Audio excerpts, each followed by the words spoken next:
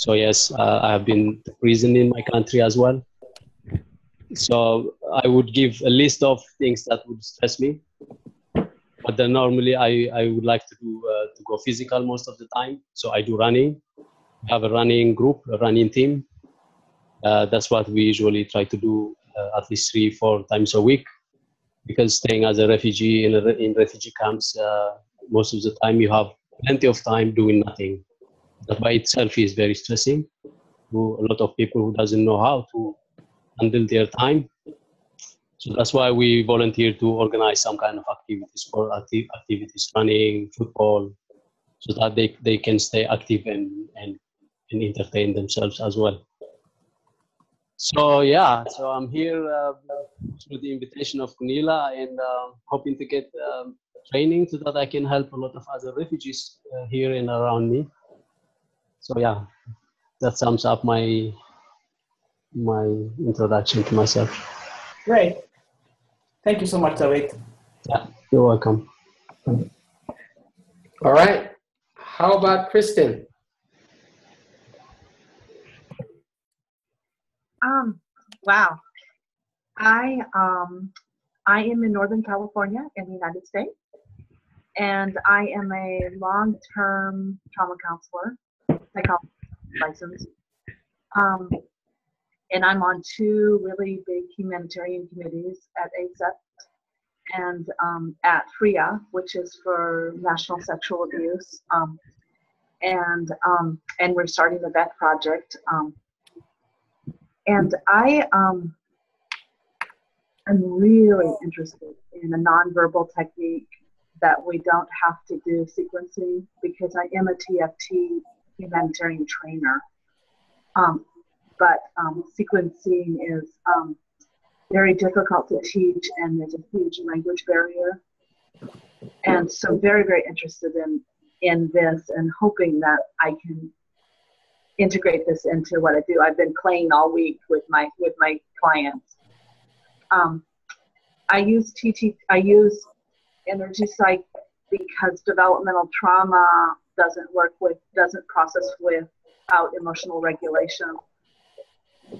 And um, so I, um, you know, EMDR, hypnotherapy, alchemical hypnotherapy, all the stuff I'm trained in, the energy psych, along with some other techniques, works really well. Um, personally, um, it's been a sad week. Um, I had to put my dog to sleep on Friday, and and but it's been um, beautiful in the sense that it's forced me to um, really, really tap and really use my meditation techniques. And she had a beautiful passage that was very spiritual and very connected, and um, really helped me understand the importance of um, using the, refer- the, the references. So that's kind of that's where I'm at. Um, I'm a meditator, I'm a tapper, I'm a walker, I'm a hiker. You know, um, so about just about do everything. Mm. So I'm also um, a sexual abuse survivor. Mm. Right. So, Thanks and, for and we will all say now, hi, Christine. Hi, Christine. Hi, Steve.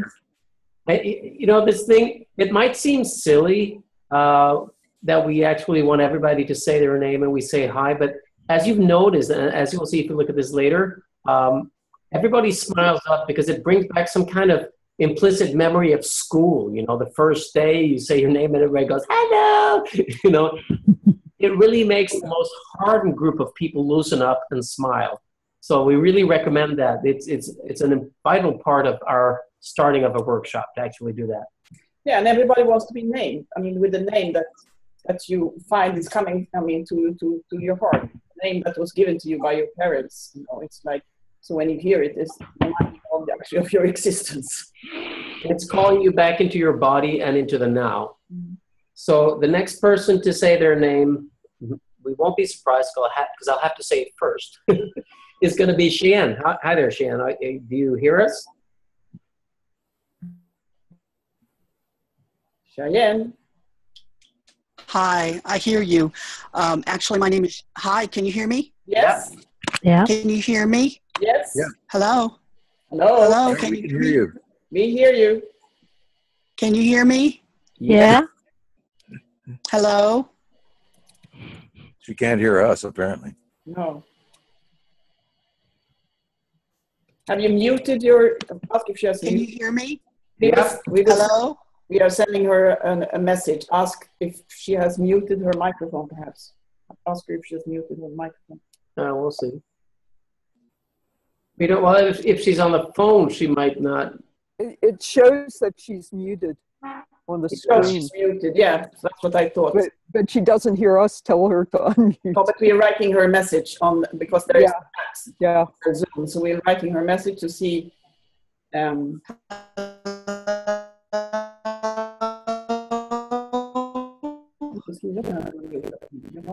Hello? Can you hear me? yes, Yeah. we hear you. Mm-hmm. You hear us? Är det där hon var så? Nej, namn. Skriv att hon har mutat sin mikrofon så att hon förstår det. We'll just write her that she has muted.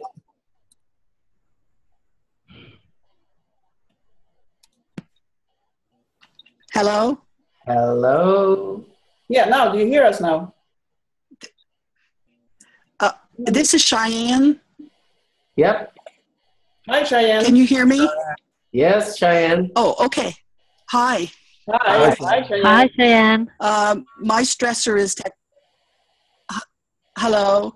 My stressor is technology.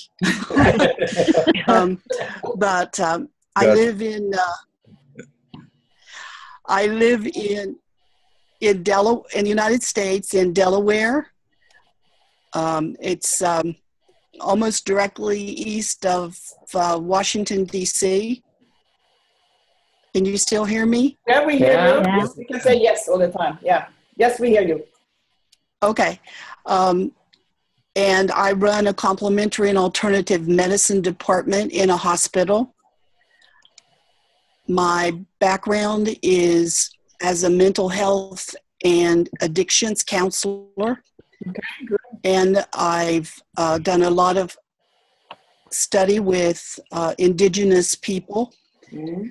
and also um, hypnosis, NLP, um, energy healing, Reiki, therapeutic touch, EFT, some work with Donna Eden, um, HBLU. So a lot, a lot of stuff. I am a licensed acupuncture detox counselor and um, acudetox specialist in Delaware. Um, and I want I wanted to take this training because I want to work more with trauma and um, more with younger people whose language skills may not be as uh, as good. I really like EFT. I use it every day, and um, so I'm I'm very interested in uh, TTT, especially because language isn't needed. Um, I use uh, um, meditation and um, and EFT and Reiki as a way to deal with my stress. Um, I can't remember the other questions, so I hope that's I hope that's enough. That's That's perfect. fine. That's lovely. Thank you so much. Thank you. Thank you. So I think we come to the to Robin. Are you there? You hear us? I'm here. Hello. I can hear. I can hear you. Can you hear me? We hear Yeah. Uh, this is Robin. Hi, Hi, Robin. Hi, Robin. Um, so my issue is being heard. that just came just came up just now. Um, and I and thank you to Olson Ganella for putting this together. I'm an active member of FRIA and looking to bring energy techniques to people who have had sexual trauma. And it's really important that the techniques we use on a large scale basis don't create ab reactions. Mm. So I'm encouraged to learn more that TTT may be the safest way to not have ab reactions in dealing with a challenging situation.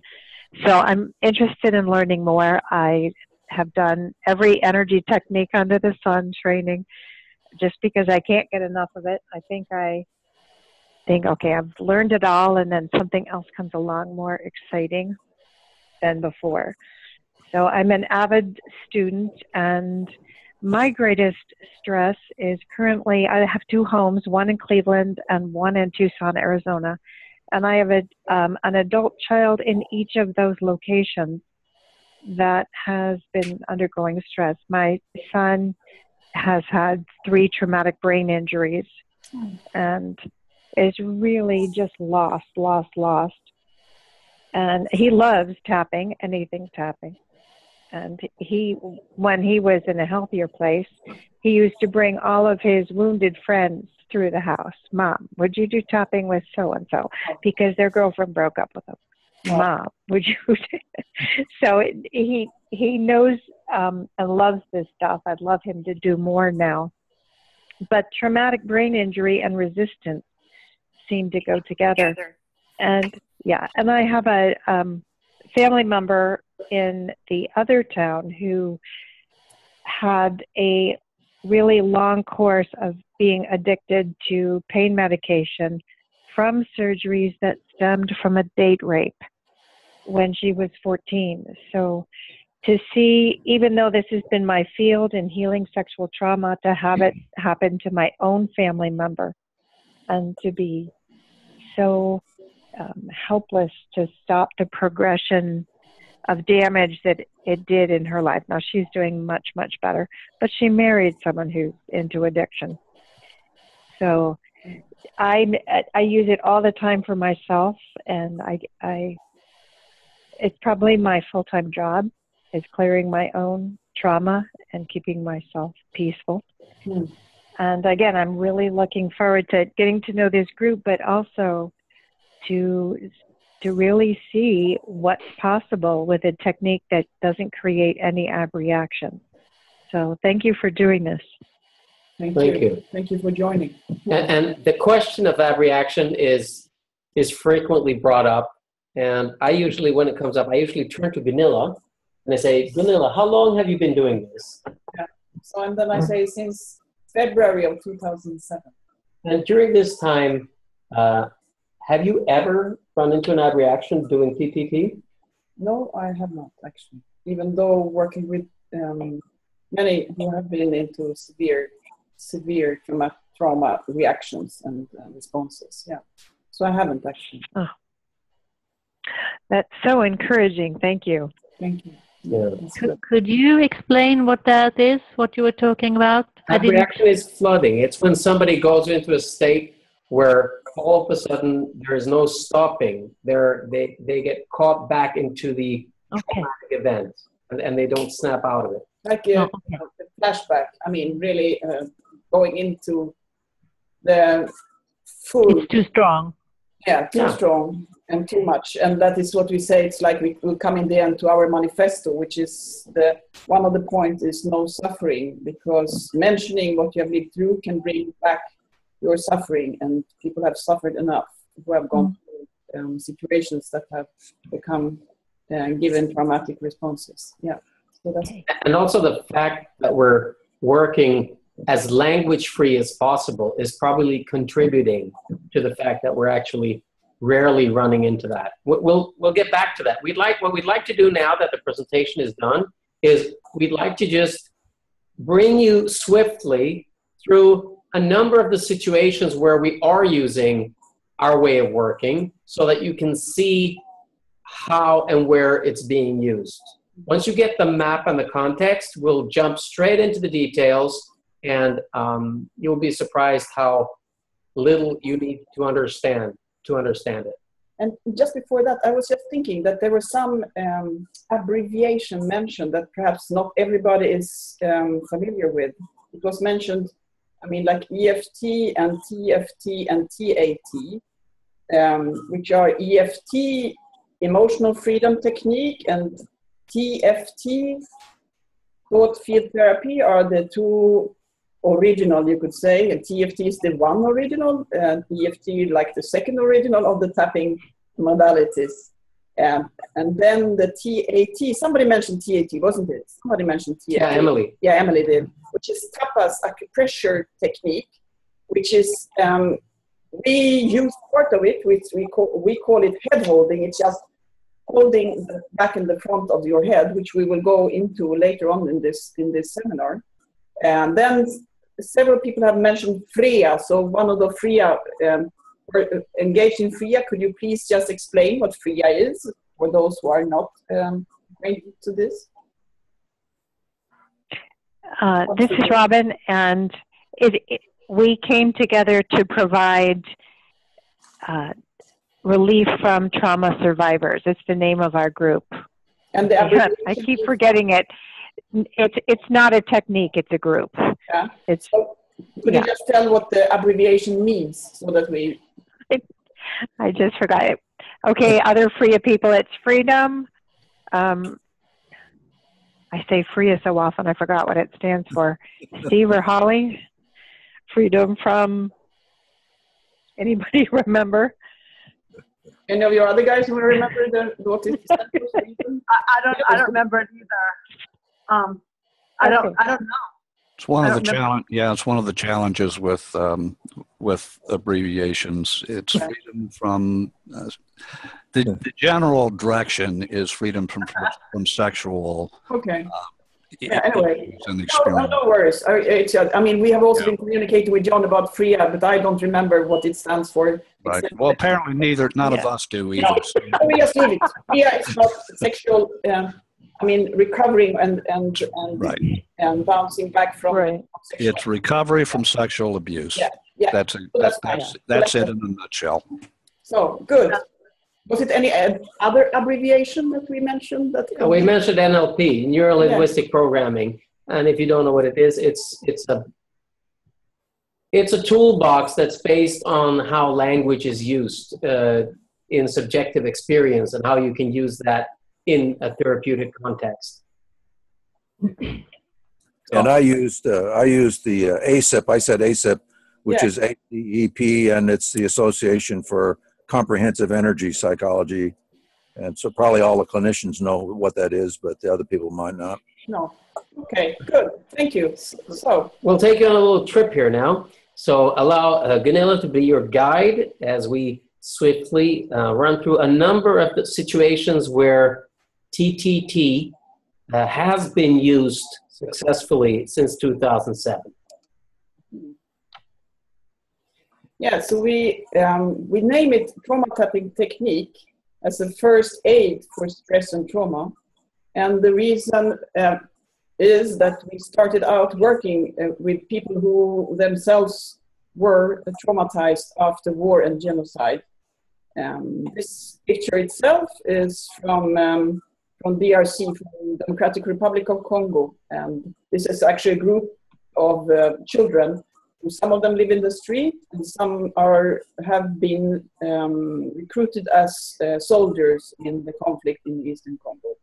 But we named it trauma tapping technique because tapping, we think is good um, because that's tapping. Sometimes we just call it tapping, like we say, and uh, trauma because that's where it originated. Now we have sometimes called this TTT tension tapping technique because in some areas, like in Sweden, also like in the Netherlands and uh, Germany and other places, when you mention the word trauma, people will say, we don't call her, you know, somebody else is doing that. That's only to do with um, professional psychiatrists or psychotherapists. Uh, and that's why we also call it first aid. So we don't say this doesn't exclude, um, this, and this doesn't exclude any other kind of treatment, but this is a first aid. Many people cannot get any help in years from professional um, um, psychiatry or, or psychologists. Um, so that's the reason we call it sometimes tension tapping technique to make people not be concerned about this word trauma. The same, we never say the word therapy because then also, so therapy and trauma are words that um, therapy we never mention except for when we do our, our clinical work ourselves. In, when we're teaching this technique, we mention the word of tension and stress. And when it is possible, also trauma for those who know that they're traumatized. Yeah. Okay. Uh, and it's part of the positioning. Our plan is, our devious world domination plan is that one day this is going to be part of first aid techniques. So mouth to mouth, Heimlich maneuver, you know, heart massage, and for emotional uh, stress and traumatic stress, tapping, right? So that's why we call it a technique very carefully. And the reason we call it both trauma and tension is also that the same abbreviation will turn up in whatever clinical trials we manage to initiate. So whether it's a tension tapping technique clinical trial or a trauma tapping technique clinical trial, the search word, word will be for TTT in either case. Okay. Um, and then it is like for us, we use this and teach this in any kind of environment. Um, both then, I mean, in one end as relaxation and stress relief. This is from um, a music festival in my village in um, Bohuslän in the west part of Sweden, um, where we were arranging uh, this workshop. This is uh, what you call a party tent. So then people who came to the music festival could, could join this workshop. But also in this workshop, I mean, later on, um, we found out because I got an email after this workshop from a person who is now our colleague who said that thank you for that workshop. It actually saved my life because he was uh, suicidal and had decided to, to mm. suicide. But then when he learned this technique that he knew nothing about he felt he came back to life again. So even in such a setting you never know i mean because this technique many times have saved lives. I mean that's for sure. So yeah. Right. Um, this is a refugee center in Finland, in our neighbor country outside Helsinki.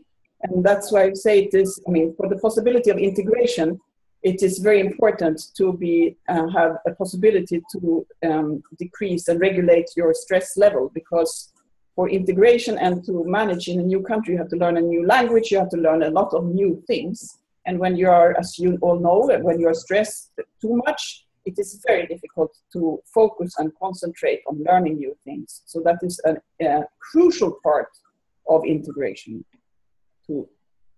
Um, this, what we say, it's language independent, and this was training we did in with displaced pygmies in DRC, the most one of the most deprived um, indigenous peoples. They were thrown out of their or evacuated from the forest where they lived and um, are very difficult to manage in the, this modern world. But um, and they also enjoyed this very much, as you see. It became like a, a, a, session of, of laughter. They found it very funny and very strange, but very nice. So that's yeah, doing but without any language. Of course, my friend there in the middle, um, um, no, no, Dominique, he um, was the translator. He grew up among the, the, the pygmies and and so the little language you need, he could explain. Okay. Yeah, and that's part of, of our manifest. Uh, it, it, we could work completely language independent, but it's it's easier when there's a translator who can just explain parts of, of a group session. And also, we always try to find an ally uh, before we go anywhere. We never go directly. So in this case, Dominic, the guy in the middle, is the ally that opens the door that already has the trust of the group, which is the absolutely fastest way to reach a group of a different culture or, or language. And that is how David and I myself we work together. It's um, he is uh, was our is and was our ally in uh, it's ally or ally ally ally uh, when we were working in the Netherlands. Very nice. And then we can do it, as we say, we do this work mainly in groups. So this was a group of, in, um, in Sierra Leone, as you know, there was a civil war there for 10 years. And uh, these women were left um, widows. So they already belonged to an organization. They called themselves Peace Mothers. So as Ulf mentioned before, it was already a group already existed. And this tapping was, was um, just um, into the already existing uh, work. Um, and there, the guy in the in the what do you say? What is it?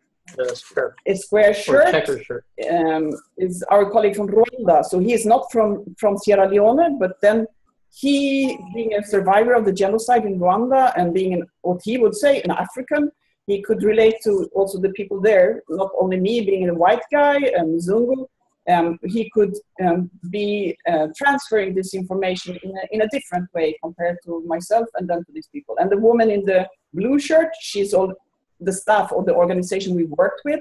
So after one day of trainings, she already knew, so she could just continue the training without us. And that's also a vital part of the concept of the way we do TTT. Group trainings, a local alley, and the empowerment of leaving it to them to continue and do it, that they become the owners of the tool and the spreading. So empowerment is, is such a healing modality. And then this is in Afghanistan where none of us have been, but, but our colleague Salim Rajabi, who I met in New York, uh, and I was teaching this uh, tapping in the subway train between uh, um, it was between somewhere in Manhattan, perhaps Wall Street and Bronx. We were going for a theater because he's a theater worker. Uh, he asked uh, about this technique because he had heard it from his colleague Jalmar, who I knew since before. And he said, Can you teach me? And I said, Of course, but you only have this time here. So he was one of the those who had the fastest, the shortest training. But then after three days, he went back to Kabul and he started doing trainings with widows also there, in, uh, widows of the war in Afghanistan. So he is, he is um, hopefully he will join us in this next uh, webinar. So that is how it can be. And it's culturally adaptable. I mean, so he will teach them these um, widows and then they, they do it within their group, which is a support group already, already existing support group. And he was already doing work with them, um, which is called memory box, in bringing back all the small pieces of memories that they had from their husbands who passed in the, in the war. And during that process, they were telling the story, they got very emotionally charged, and then he was you know before that then showing the, the, the tapping so that they could help themselves through that process and then remembering without having all that pain. And a question we often get especially with uh, people from the us is is it okay for people to touch each other to, to, to learn how to actually do this to each other like they're doing in the image? And in this case it is okay because because they're all women. Um, and I mean, there's ways of teaching this as self-tapping in a group, which allows everybody to, to take care of their own self-regulation.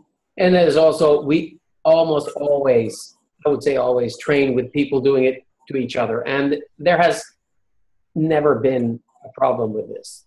No, and that is all, I mean, for us, it is in the US and in Canada who this touching issue is, is difficult.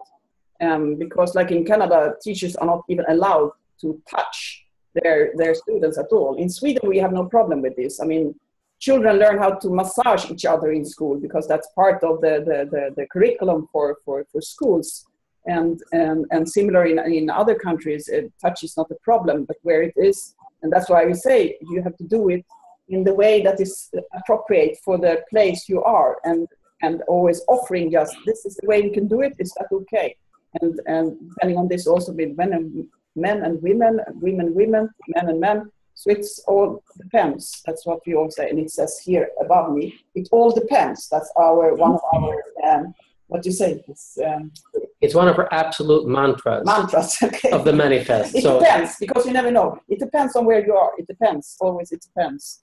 So the answer is never sure. Like it's like Bert said that it is like you can never do wrong. You know, you can never do wrong, but you have to be sensitive to the place where you are and like working with the people of the place uh, before um, checking things. It's like like oh on Friday or last week, two weeks ago, I had a, a, um, a training in the refugee center in Sweden, and uh, there are people from Iraq, Afghanistan, Syria, uh, Eritrea, and um, Afghanistan. Yeah.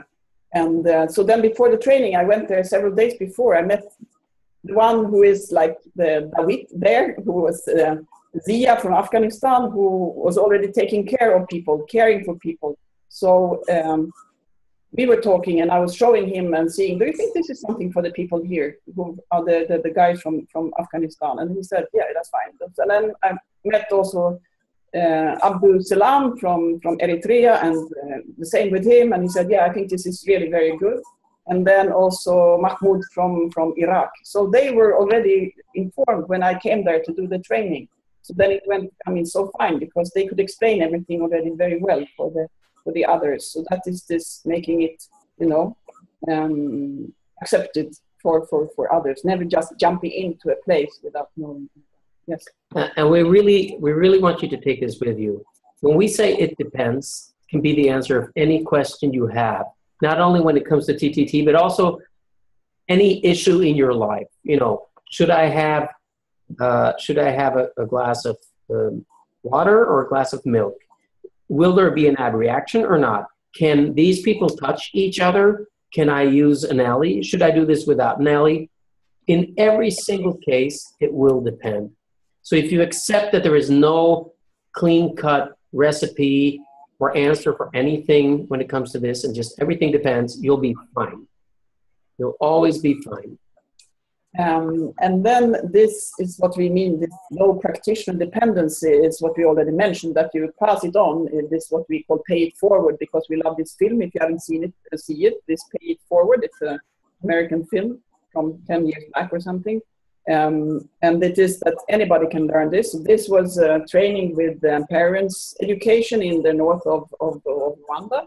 So then this is already one of the, the, the parents from the who is doing the training with the, the others after one or two sessions we had together. So that is what we call, and that's why we say this is a very democratic tool because anybody can do it, anybody can, like Ulf said, own it, and because, and that's why it's empowering to see that, like for those who were considered victims, which is not very uh, good for your self-esteem to be considered a victim of violence or victim of rape, and get a tool in their hand that you can actually use and help others, and they will start smiling and saying, Wow, I slept well, I slept like a baby. That's very empowering because that's when pure healing starts. It's when you can help somebody else to, to recover from something that you have had um, experience of uh, on your own. Hmm.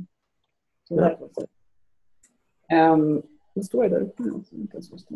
um, this is from the place where we learned this, this, this greeting that we did in the beginning. Um, this place is called City of Joy, and you see their, their mantra is transform pain to power. And these women are there for six months training and before they go back to the community. and They were all um, um, are all survivors of, of gender-based violence and GBV, which is gender-based violence um, in the conflict in Eastern Congo. Because uh, rape and other forms of, of, of gender-based violence is a very cheap tool. You don't need to use even a tool, a weapon, I mean. Um, you don't need even to use one bullet, and the, still you will destroy the community completely. This is from South Sudan. Um, this was in 2013. Three, uh, yeah. And as you know, there has been a lot of, of, of uh, conflict also after the independence of this, the youngest nation of the world. Um, and um, but still, and there is a lot of, of tension between different groups. Um, but here, what we call integrity preserving is that you can actually heal from things without mentioning what it is. Even if it, like this was a training of um, peace mobilizers, so they all come from all over the country, from different uh, groups who have been um, in conflict with each other. So they, you can actually heal from things without mentioning, uh, even if it's something that would be confrontive to, to other people in this in the in the same group. Yep. Um, and these are survivors of, of torture in Chad. Um, um, Chad was this dictator of Hissène Habré during the 90s, who are actually condemned with the International Tribunal uh, of, uh, just um, a month ago for, for uh, crimes against humanity. But there was a lot of torture in Chad during that period. And, and um, these women um, finding it very, um, what you say, non-invasive, uh, that you can use it without um, any kind of, of uh, other kind of reaction. Um, then epigenetics, I don't know how, I mean, it is, I mean, what you have found more and more, it is that actually living through trauma will change the expression of the genes, which means that it will also transfer to the next generation. These guys, they grew up after the genocide in Rwanda, but they still have a lot of stress. Um, and some of it comes, of course, from living in a, in a, in a surrounding where brutal things happen, but it's also because it is transferred from one generation to another. So they all, I mean, so many of these guys, they would call our Robert, our Rwandan colleague after this training saying, oh, you know, I've slept and I don't feel so stressed, you know. So that's why I say, I mean, all over the world, this should be used as a tool to teach um, children in school from daycare or, or you know, from, from preschool, because you go through a lot of stressful things. And like in Rwanda, if you, you miss your exam, you will not pass to the next level. And then and, and school costs money in most um, even more in, in, in the neighbor country congo and many other places. It's very stressful. And then if you can have a technique that can actually de-stress you that's fantastic. And in schools in sweden the pressure becomes harder and harder to children. They they they need i mean everybody needs technique like this. So that's why we we love this technique and this um, is also, I mean, another place. These were uh, refugees in, in DR Congo, these women, and they would say that, "What are you? What are? Why are you teaching us this? We want. We need food. We are hungry." And then we could only say, "I mean, we are, don't have any food." But if you learn how to to to to get the stress out of your body, you'll be able to take better decisions because your your stress will make it very difficult to look ahead because you will be living in the past. And then they said, "Yeah, actually, you're right." When we came back, they said it's right something happened actually. And this are also, I mean, because we work with survivors, but also with the perpetrators of violence, both children of, of war, child soldiers, and these are prisoners in Rwanda. So these are all in prison after 21 years after the genocide, which means that they have committed severe crimes. But for them also, I mean, that our colleague who came to do the training, they found it fantastic because she's a survivor of the genocide. And so they said to her, you know, how come that you come to us? You are a survivor, but and we are the perpetrators. Are you a spy of the government, or how come that you are coming here? And then she told her story that she felt, you know, relieved from her hatred and her her feelings of revenge um, when learning these techniques. So she said that now it's fine for me to come here, and I think you need the same because it's not easy for you too what you have done and and the, the situation we live through in our country so they also, you know, would say that this technique, I don't know if it's good or bad, one of these guys said, because it makes me want to talk. They felt, they said the expression in Kinyarwanda that the, the heart gets soft, that they wanted to do, you know, they wanted to ask uh, forgiveness to the families that they had done wrong. Also those who before would not do that. Um, so it is again this that it is without language you can heal from anything that you have done that goes the same like for war veterans in the us it's easy to say the things that were against you when they hit your platoon but what you did in revenge very difficult to express and then you will continue living with that if you cannot heal those parts too and that you can do with this technique yeah, especially since the technique is non-invasive i mean there's there's the the guilt of surviving when other people's didn't. There's the shame of surviving, uh, and there is the that of being a survivor is different. And there's also the shame and the guilt of being a perpetrator, and not having to talk about that. And that's we're coming to that now because we're coming to what is specifically that we're doing different. Uh, because non-language also means we're, we're not doing setup phrases or affirmations. So we're getting back to that in a few seconds. We just have one more slide of this. So um, yeah, yeah, and this is also in Rwanda. So this is a refugee camp of um, Congolese refugees. Um, and here, our colleague Nurigo, she did the same. She met some of these refugees. She asked them if they had similar problems that she had after the genocide, and they said, "Yeah, the children scream at night. They have nightmares. We feel, you know, have headaches and and and having flashbacks to what we lived through." So she started teaching them and at the same time telling each of them um, to teach others. So she said, next time I come back, you have to have been teaching five each. So she was, she did the teaching the first one with um, the, the, the, responsible for each part of this refugee camp. Um, and then when we came back and like some weeks later, they were already from eight, they were already 40, and then they have multiplied. So now there are several thousand. At this time when we did this slide, there were like 7,000 who had been reached. And so that's why we say it's scalable at low cost. It costs nothing, just the willingness to reach out to other people and, and, and showing this, this technique. And they love this technique. Uh, yeah. Completely. Our costs are usually uh, transportation, which is quite expensive, water for the actual workshop, and some kind of um, something as a contribution to the person who is doing Yes, it, and copies. uh, and copies of materials because we also try to convey and communicate TTT in as many different ways as possible. Being language free is one thing. We have a we, we boil it down to a minimum of language, but we also try to reach people where they are in their cultural setting or their cultural context or whatever way they're used to seeing and relating to things. So one way we solved this in Rwanda was to have an artist. In this case, we didn't find one in Rwanda. We found one in Nairobi uh, to paint from our pictures, our photos of Rwanda, the actual tapping points, and we created a calendar. This is the base of the calendar. Actually, all the months were on the sides of it. Uh, so just imagine that being a calendar instead. And- And we translated this to a number of different languages. We print them as posters because a calendar people will put on the wall in a school, in a home, and somewhere. And it, what we need to convey to people is healing is possible. Trauma or stress is not a chronicle, lifelong, you know, uh, verdict. It's something that you can actually self-regulate and stabilize. So our shortest instruction in any language of the whole TTT is think about whatever bothers you and tap 15 times on each point, point 1 to 14, using two fingers. Take two deep breaths and repeat.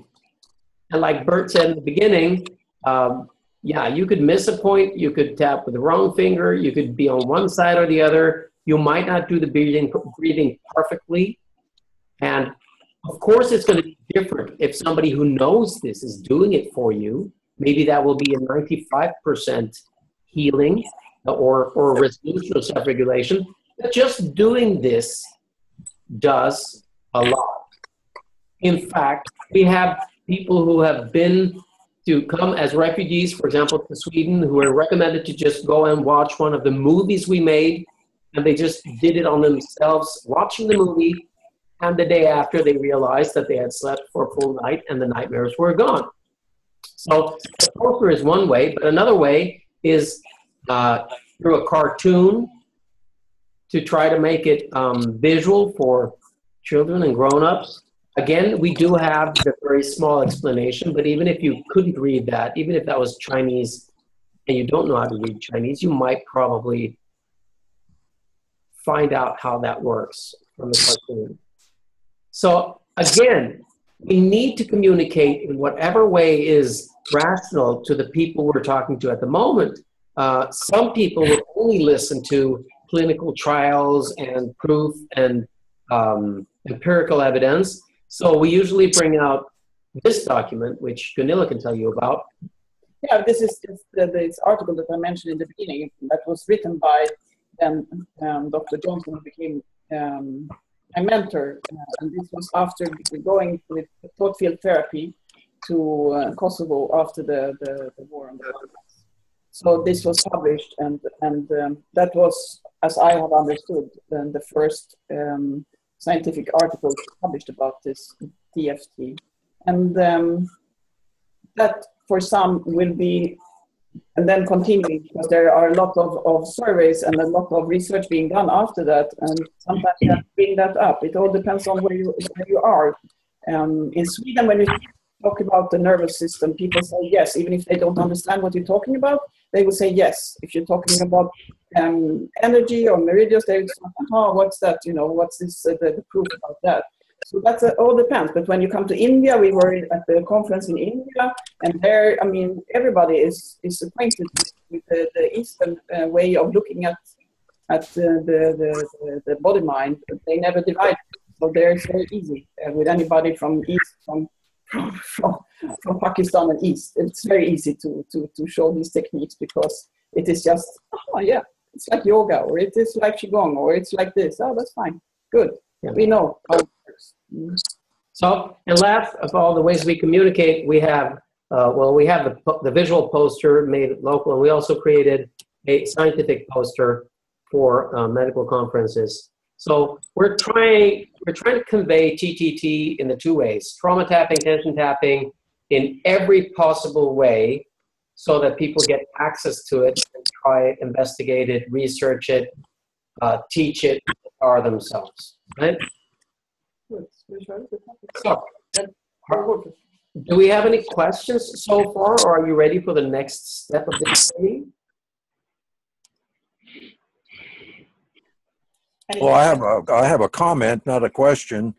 I think when we were talking about um, re-traumatization, um, and I'm, I'm the, the, the word's escaping me now. Um, well, flooding, you know, you said, uh, but I, yeah, abreaction. Uh, I think the reason that you guys don't get the abreactions is because you are so confident and you're so uh, in touch. I mean, when you, I, I think really people worry so much about abreaction that they get reaction, abreaction. Yeah. I think when you when you don't worry about it, when you just go in as if abreaction is not going to happen, and even if it does, big so what? I mean, if it's going to happen, it's going to happen. Uh, you you know, if it does happen, then you know you have a tool to deal with it, and um, and and you and you can do other things too. But if that's the biggest sin you commit, well, I, I don't think it is. I think the biggest sin is don't do anything. You know, that's the biggest sin. Exactly, that's what we say. It's unethical not doing anything when you have a tool, um, because people have survived their reactions, because many have had their panic attacks before. It's not a problem. People have survived them before, and then uh, exactly as you say, Bert, you have a tool that you know can help that. But it has become like some kind of very weird um, um, sayings around this, and a fear that actually uh, makes people suffer for a long time unnecessarily. Now, Yes, now, yeah, I actually, no, abreaction. I, I've had uh, you know lots of people abreact in my office as a clinician, and um, it it did not do you know it didn't re-traumatize. That's what people are afraid of. It's going to re-traumatize. A little bit of re- I mean, the whole point is that you do have to get into that field of uh, of some kind of suffering or pain in order for it to work. So you got to get a little bit of it anyway, and you know that's why we call it you know. Uh, uh, we give all these fancy names to it. But anyway, I just I think the fact that you guys just don't worry about it, that it just doesn't even happen for you. That's great. You don't expect it to happen. No, No, we really don't.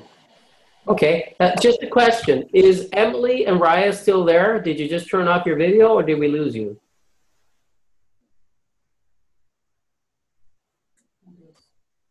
I'm I'm still here. My video cut out. That's all right. We feel you. well, there's Raya. Hi. There's Ryan. Excellent. That's all good. Okay, just checking out. We don't want to lose anybody here. Okay. And my, my computer's turning on and off. Sorry. Um, It- It's showing very interesting images because it's like it's making a whole complete loop. yeah, I'm, well, I'm, com- I'm, my husband's watching in the distance. And, um, so I have it on the computer, but my computer keeps shutting down and then I have to switch to my phone. So sorry. It's, it's going to be a little weird. It's part of the entertainment system. It's fine. Yeah. All good. So somebody has noise in the back. and I'm gonna, I'm, yeah, I have a lot of noise, a lot of people here, so that's why um, a lot of action started happening. So I'm going to mute again and may stop the video again, but I'm here. Excellent. So if we're cool with that, that's step one. So what we're going to do now is we're going to do step two. We need just do a self tapping the way we do self tapping with a group, okay? So for some of you, this is going to be something you know already by heart, and for some of you, it might be something new. But it's nice if you have a video if it's on. If you don't, that's fine too. But we trust you can see us. And if you got uh, Robin and Cheyenne, can you see us? I'm not Robin. No, Robin can't see us, can you? No, I cannot see you, but I know the I, point. I so- can't, Okay, Cheyenne can't see. We'll just read them out so that you can join us at the same time. Great, thank you. Okay, so what we usually Cheyenne can't see them either, Okay, but I know the, exactly. So we'll just mention them. So usually, if we have a group training for this, uh, that's where we start. A group training is usually, we do the greeting. People are seen and heard on their name, so they tell what their expectations are and, and why they're there. So people can feel comfortable with each other. And then we start the self-listening. And we usually tell people just to connect ever so lightly to anything that bothers them. And if they feel any sensation in their body, that that will be enough. Because in our experience, you don't need to connect more than that. Okay. Not sure. So here we go. We're going to do it together. Now, sometimes we even do something called, which you can read in the book, which you all received as a PDF, called a somatic poem. So we can do that just so that we enjoy ourselves a little bit more. So just say after me, okay? And do what I do. So this is follow John. So imagine. Imagine. Imagine. Imagine a rain falling on you. Imagine a rain falling on you. On your outside. On your outside. You're outside. Inside. On your inside. Inside. Rinsing. Rinsing. Rinsing. Cleaning. Everything you've seen. Everything. Everything you see. Everything you heard. Everything you heard. Everything you smelled. Everything you smell. Everything you smell. Tasted. Everything you taste. Cleaning your throat. Cleaning your throat. Your throat. The dust and burden on your back. The dust and burden. on your back. Whatever's in your chest and heart. Whatever's in your chest. Every chest and heart. Cleaning your stomach and your gut. Cleaning your stomach. Everything like that. Going through your whole body all the way down to the ground. Going through your body. Body.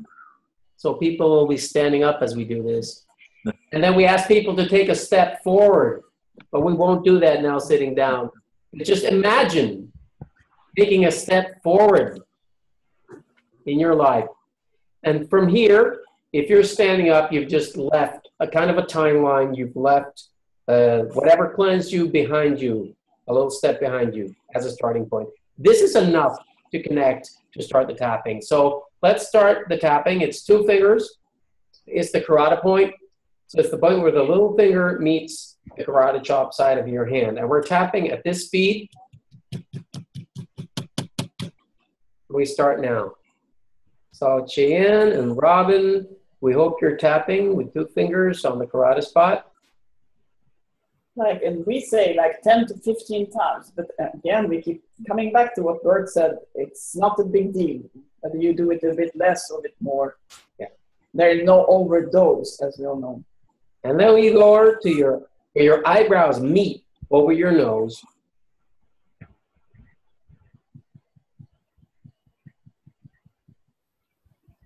And then you follow with your fingers to the side of your eyes on the bone.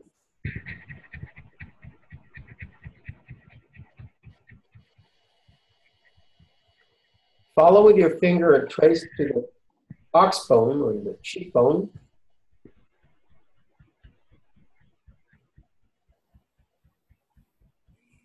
On your lip, upper lip, on your chin, between your lip and your tip of your chin. And then it's the collarbone. Under the collarbone, you can use both hands. And we do this a bit more. I mean, even if the point is under the top of the collarbone, we do this what we call it wild. Or like the guys in the mountains there in Rwanda and Uganda and Congo, the gorillas, because this is like a gorilla tapping.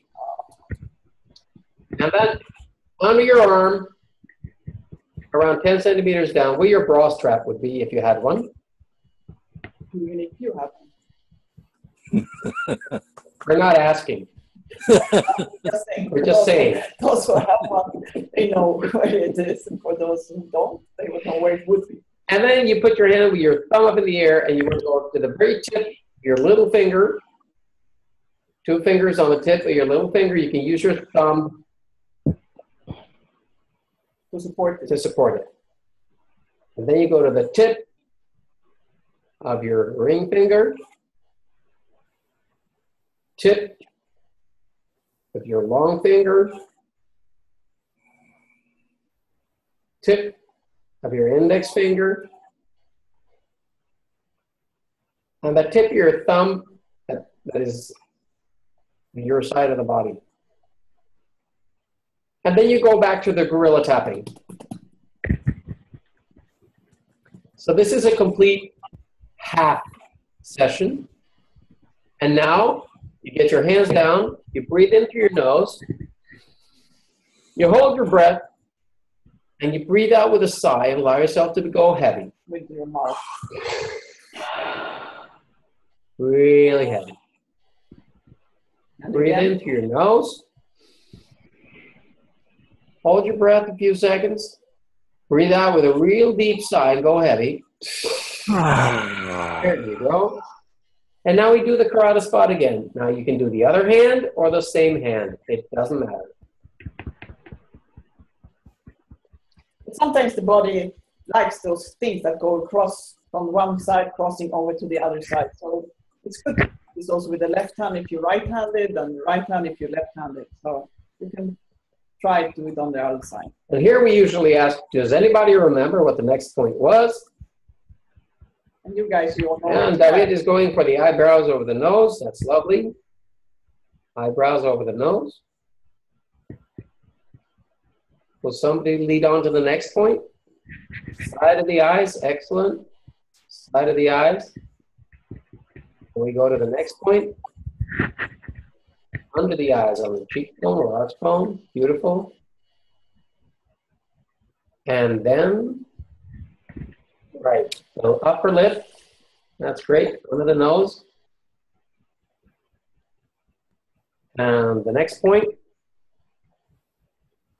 is the chin, beautiful. Between the lip and the tip.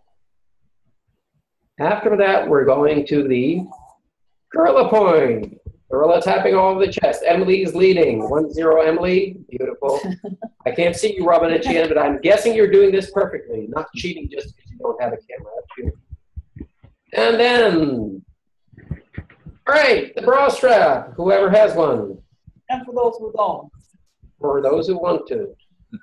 There you go. And after that, the tip of the little finger. Tip of the little finger. Support it with your thumb if you want. And then the tip of your, that's it, ring finger. Beautiful. Then it's the tip of your long finger. Girls in juvenile detention call that the birdie. And then we have the index finger. yeah, you were in the juvenile detention center in Los Padrinos in Los Angeles, teaching this. And then the thumb, very tip of the side. All right, and who's going to show the last concluding point?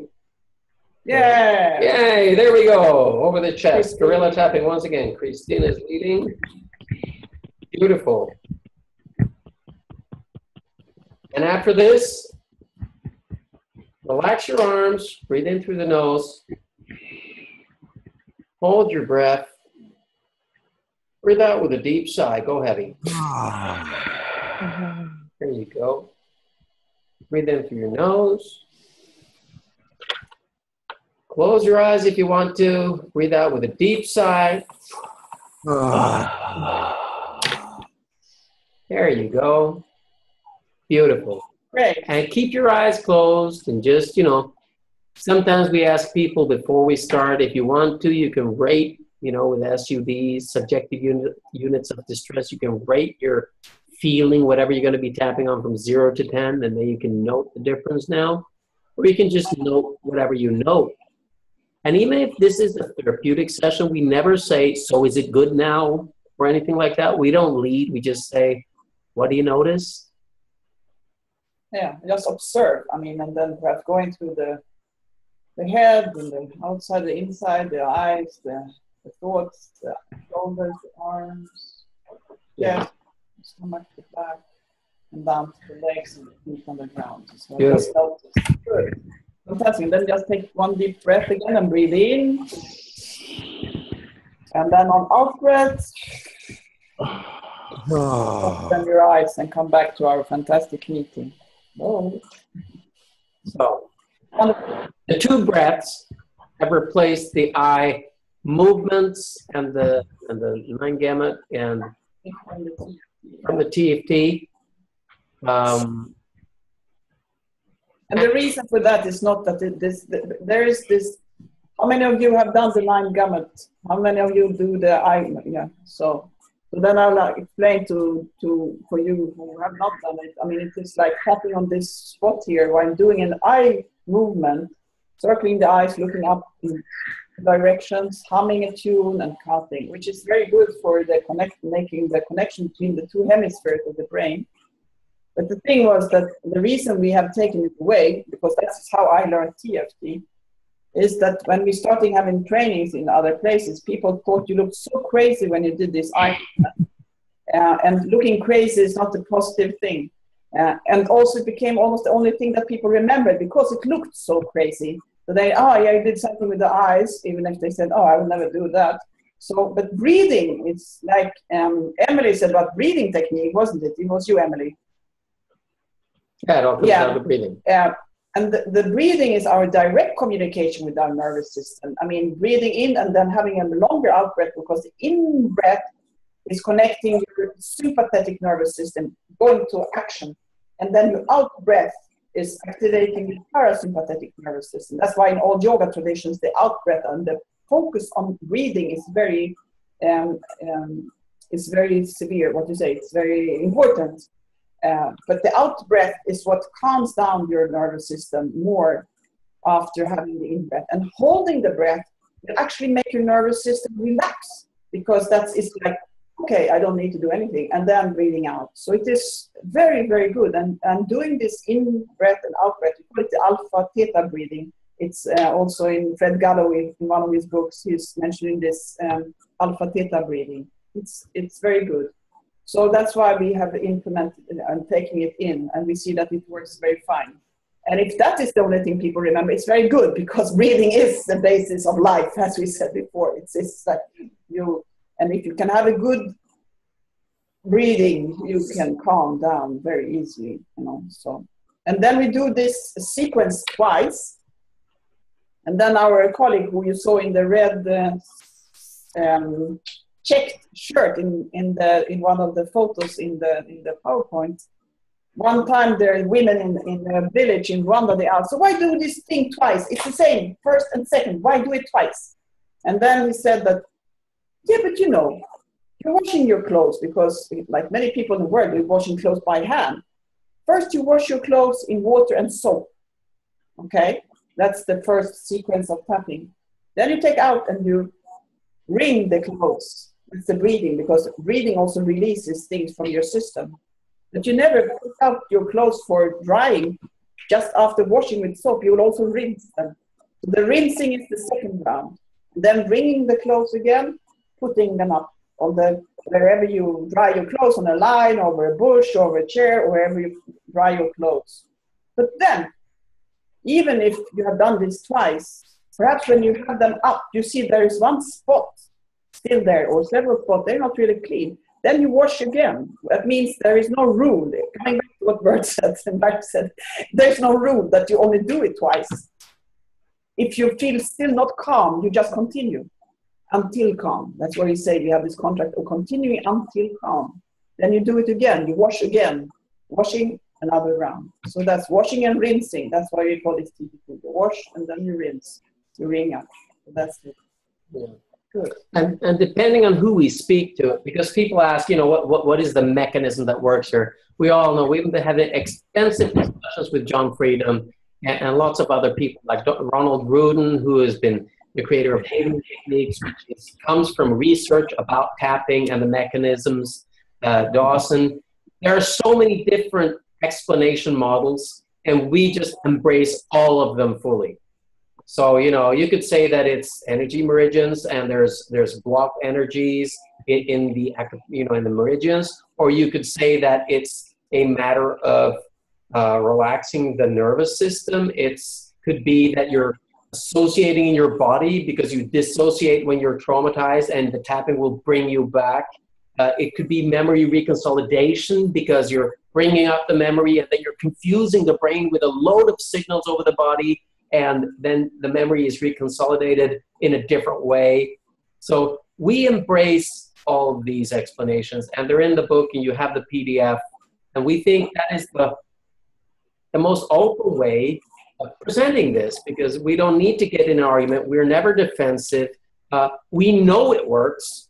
We've seen it work in thousands of cases. We know people who were treated 2007 that are still, you know, still feeling great. So we have quite a long follow up. You know, the sustainability is there.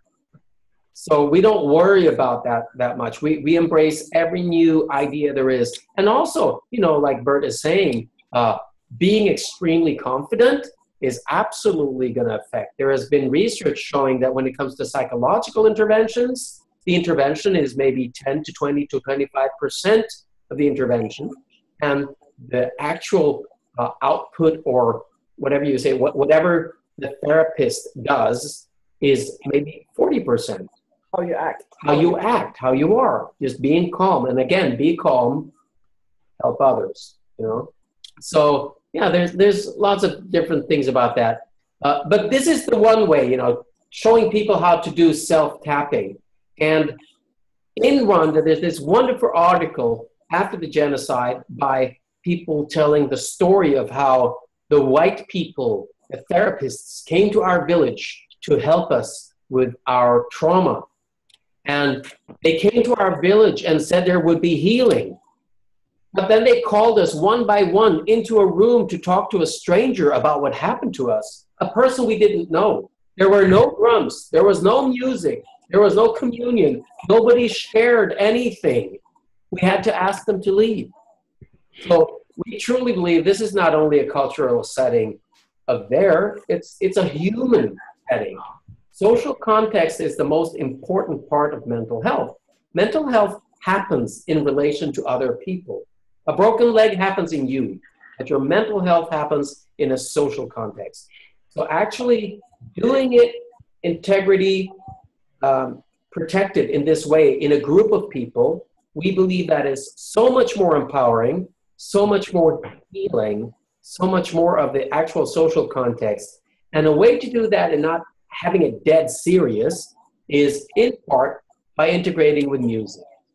And not only because music is a way of, of interacting and an easy way of learning and an easy way of remembering, and it's fun, and also because music actually has been proven to be the one thing that engages most of your brain. So, actually, when you sing, you're synchronizing breathing and synchronizing breathing, you're calming down the, sim- the sympathetic nervous system. And when you sing in a group, you're creating social context and group, but you're also reactivating most of the brain that actually shuts down in a traumatic reaction.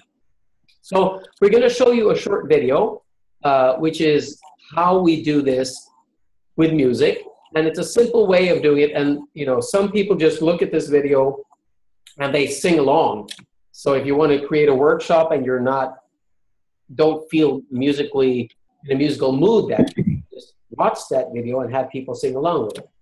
So we'll show this to you. It's done with a group called the Gisenyi Acrobats in Rwanda at Lake Kivu. And uh, it's, it's a guy who just trains street kids in acrobatics uh, to keep them off the street and to give them trust of the body and trust of each other.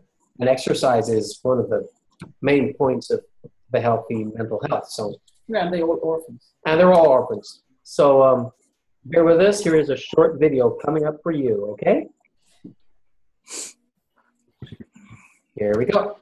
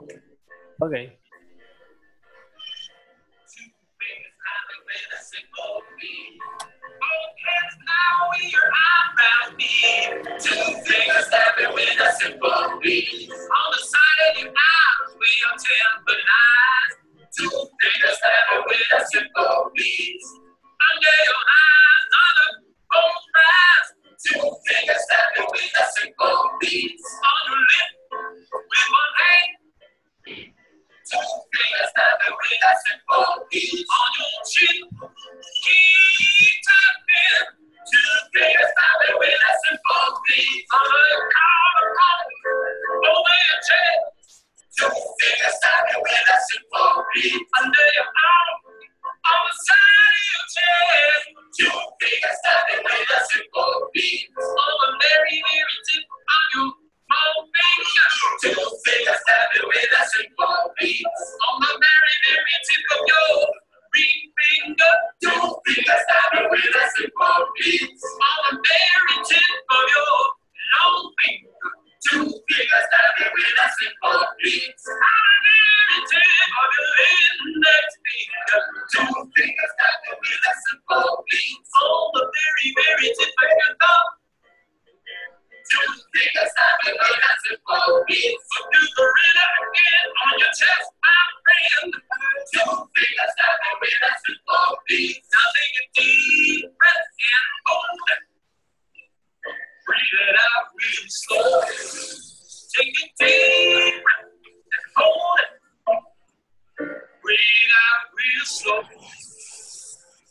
When you're washing and rinsing,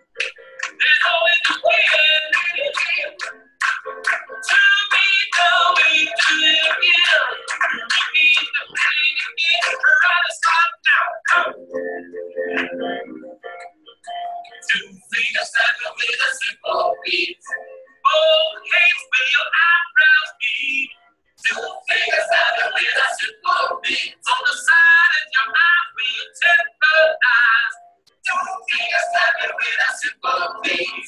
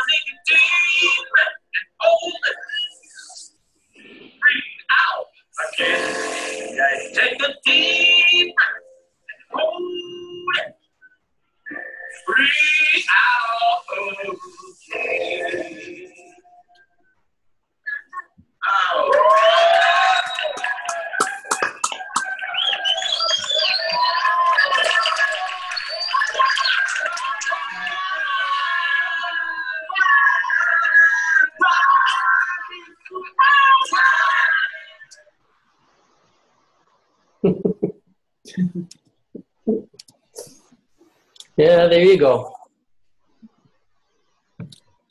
So, uh, I want to ask a question. Uh, I know we said uh, two hours, but we, we'd, we'd like to continue slightly more. So is somebody rushing off to um, a car wash or something? No. Are we good? We're good. Okay. Oh, I'm good. And we have an, we have an extra guest now. yeah, so hi. Yeah, new participant. Excellent. So, what we've done is we've asked people to create songs. Well, it actually, yeah. Look, there's two dogs now. Uh, so Hey, can I interrupt a minute? Can I interrupt a minute? Yeah, sure. Yeah. Hey, um, is there a way we could get access to that video? Yeah, Absolutely, everything is on our website. Everything is on our website. Uh, and Oh, ev- that one. I got the cartoon one, but okay, great, great. Thank you. anything we do is yours. Just spread it.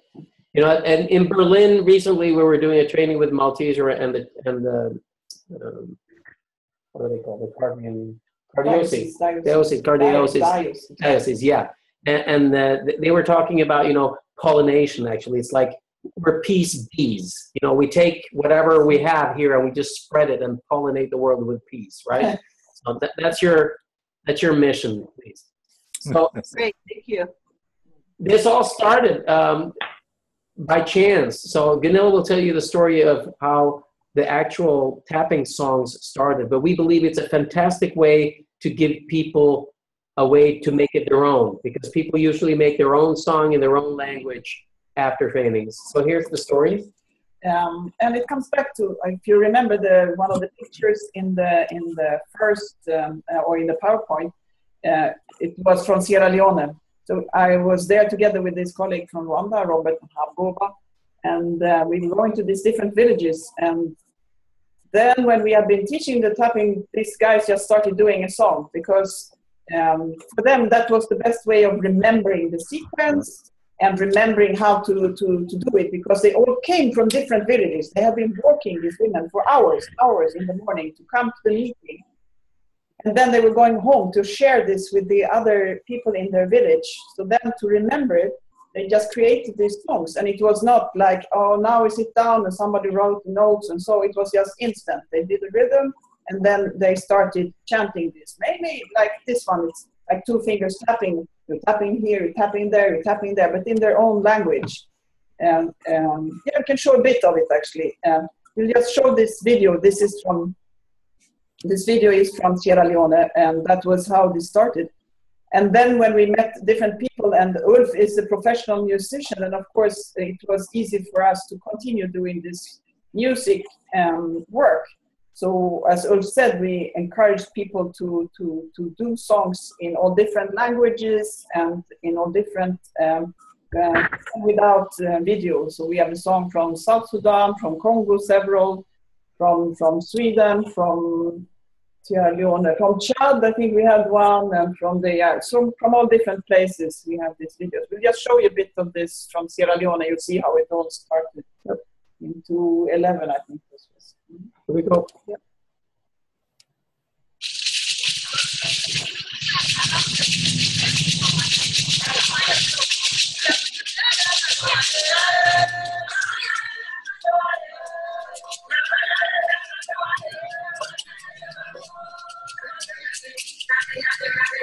Thank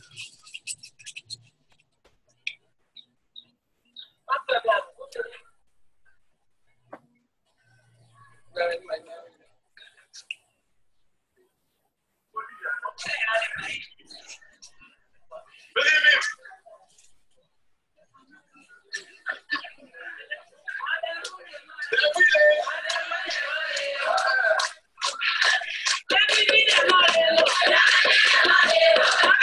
Amarelo, amarelo, amarelo.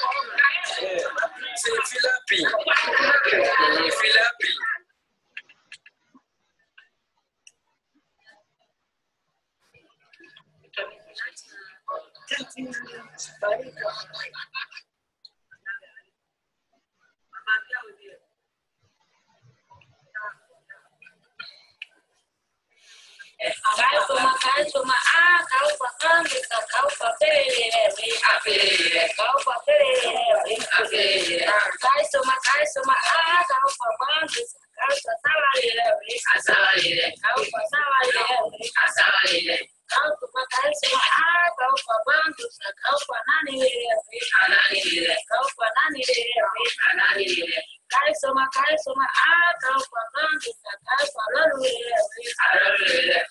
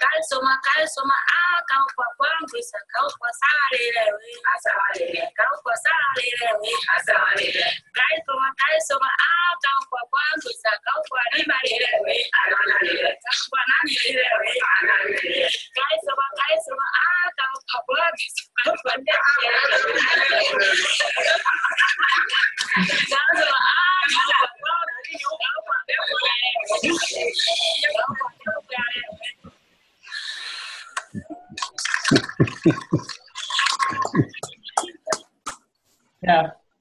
So yeah so so so so this this um it was something i was thinking of this. Yeah so here you can see a different i mean it all depends. As you see here there's this the drummer is tapping this woman is fixing the coat no problem. In in, in another place not not possible.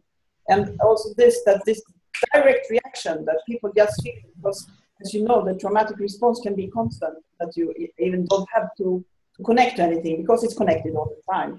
Just by doing this song that we have created parts, we have seen healing just by doing the song without saying anything, just doing tapping. Because the radio is on all the time. Uh, for some, you don't even have to say something, you don't even have to think something, but it, it is constantly on.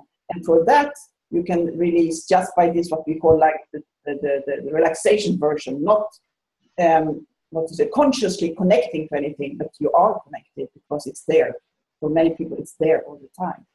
So this was, uh, yeah, so this was um, what happened there. So you saw these guys, they went back with their di- different songs in different villages, and then they went back. In the end, one woman, she says, like, yeah, now she has learned this, she will go back to her village and share the medicine. They call it the medicine, medicine with the other women.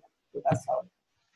Yeah. So we don't want you to feel any pressure, but uh, the assignment for next time we meet is the Seneca Pilati song, the Emily song, the DeWitt song, the Stephen Carter song, the Susan song, the right, you know, Bert song. If you want to add dance steps, that's fine. You know, don't worry about it. It's all going to be good. Yeah, so these are there on the website, and that's exactly that cartoon that we were saying before.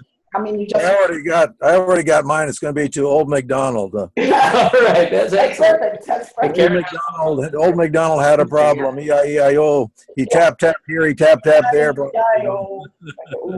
Yeah, perfect. That's perfect. Yeah. And also, there's lots of children's songs and stuff, you know, that you can convert into.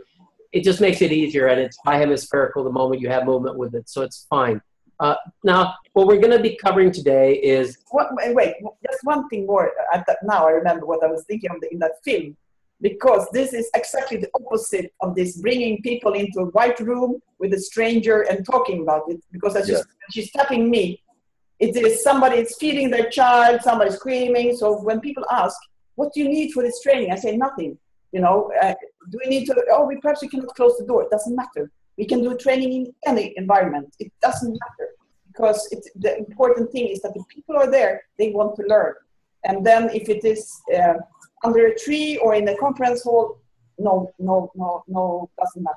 Or in a subway like Celine, Yeah. or you know, at a party, or I've done it in airports, in airports also, when people are running to the gates, and people have this, have healed from all different kind of stuff. So no, no worries about that. So coming back to work, there's no answer, but it's yes or no, correct or incorrect. Just do it. That's what you say. Just do it. And that's why one of the parts of the manifest, which we will be summing up, is uh, use what you have.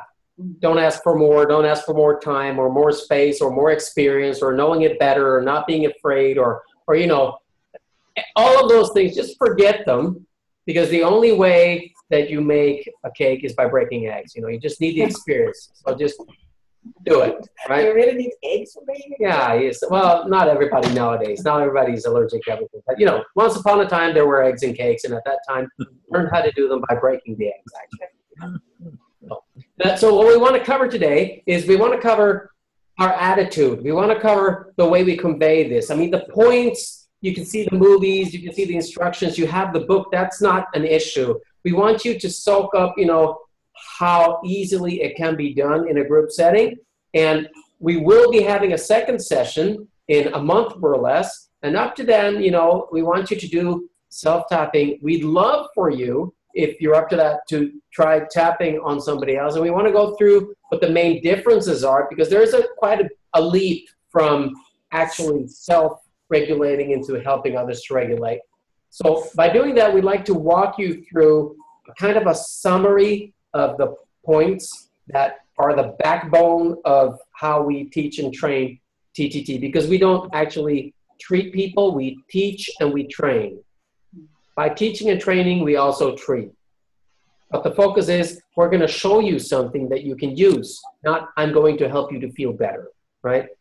So this is part of the whole empowerment process. You saw the woman who was tapping Gunilla in the video.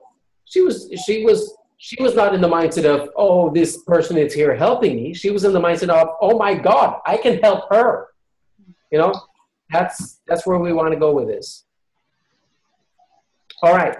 So are you ready for a a little sweeping walk, a dolphin swim through um, through some points on a PowerPoint? Yeah. Not the topping point. No, no, just a little dolphin. Yeah, exactly. So good. Hang with it. And I will be reading it out for you, both uh, Cheyenne and Robin. So don't worry. We'll send you the PowerPoint after. Um, you'll probably have Thank a you. you'll probably have a nicer layout in your head than whatever's on the screen because PowerPoint is PowerPoint. But anyhow, it's green and black, just so you know. It's a turquoise kind of, yeah. Yeah, we're going there now. I thought we were.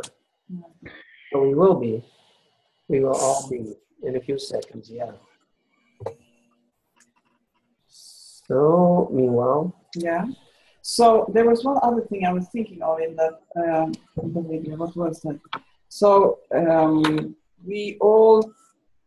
Yeah, here we go with this one. Was something. Anyway, you just take this PowerPoint and then we see what happens. Here we go. Okay, so we go into the PowerPoint right now, and for you, Chan and Robin, it was all working perfectly all along. There we go.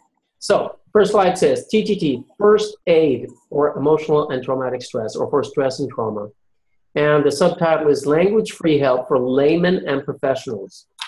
One of our mottos is learn in 10 minutes, do it in five. Right?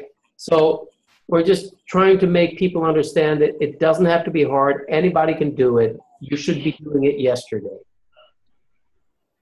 When it comes to mental health, the definition of mental health is quite interesting. Mental health is dependent on basics like rest, food, water, and exercise. Those are better than any prescription drug out there. So if you exercise, you're hydrated, you're fed, and you're rested, you're in a better place than any treatment can bring you.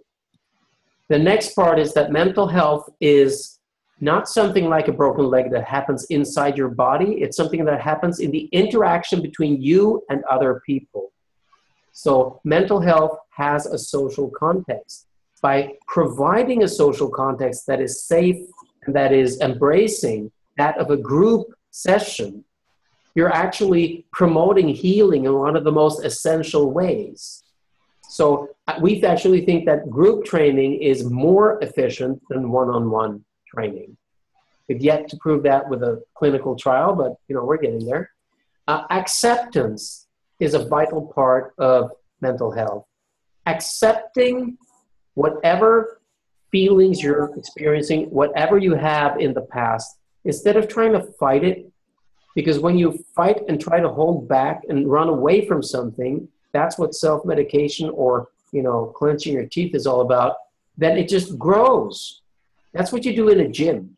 You take a weight and you lift it up and down, you know, and then your arm becomes stronger.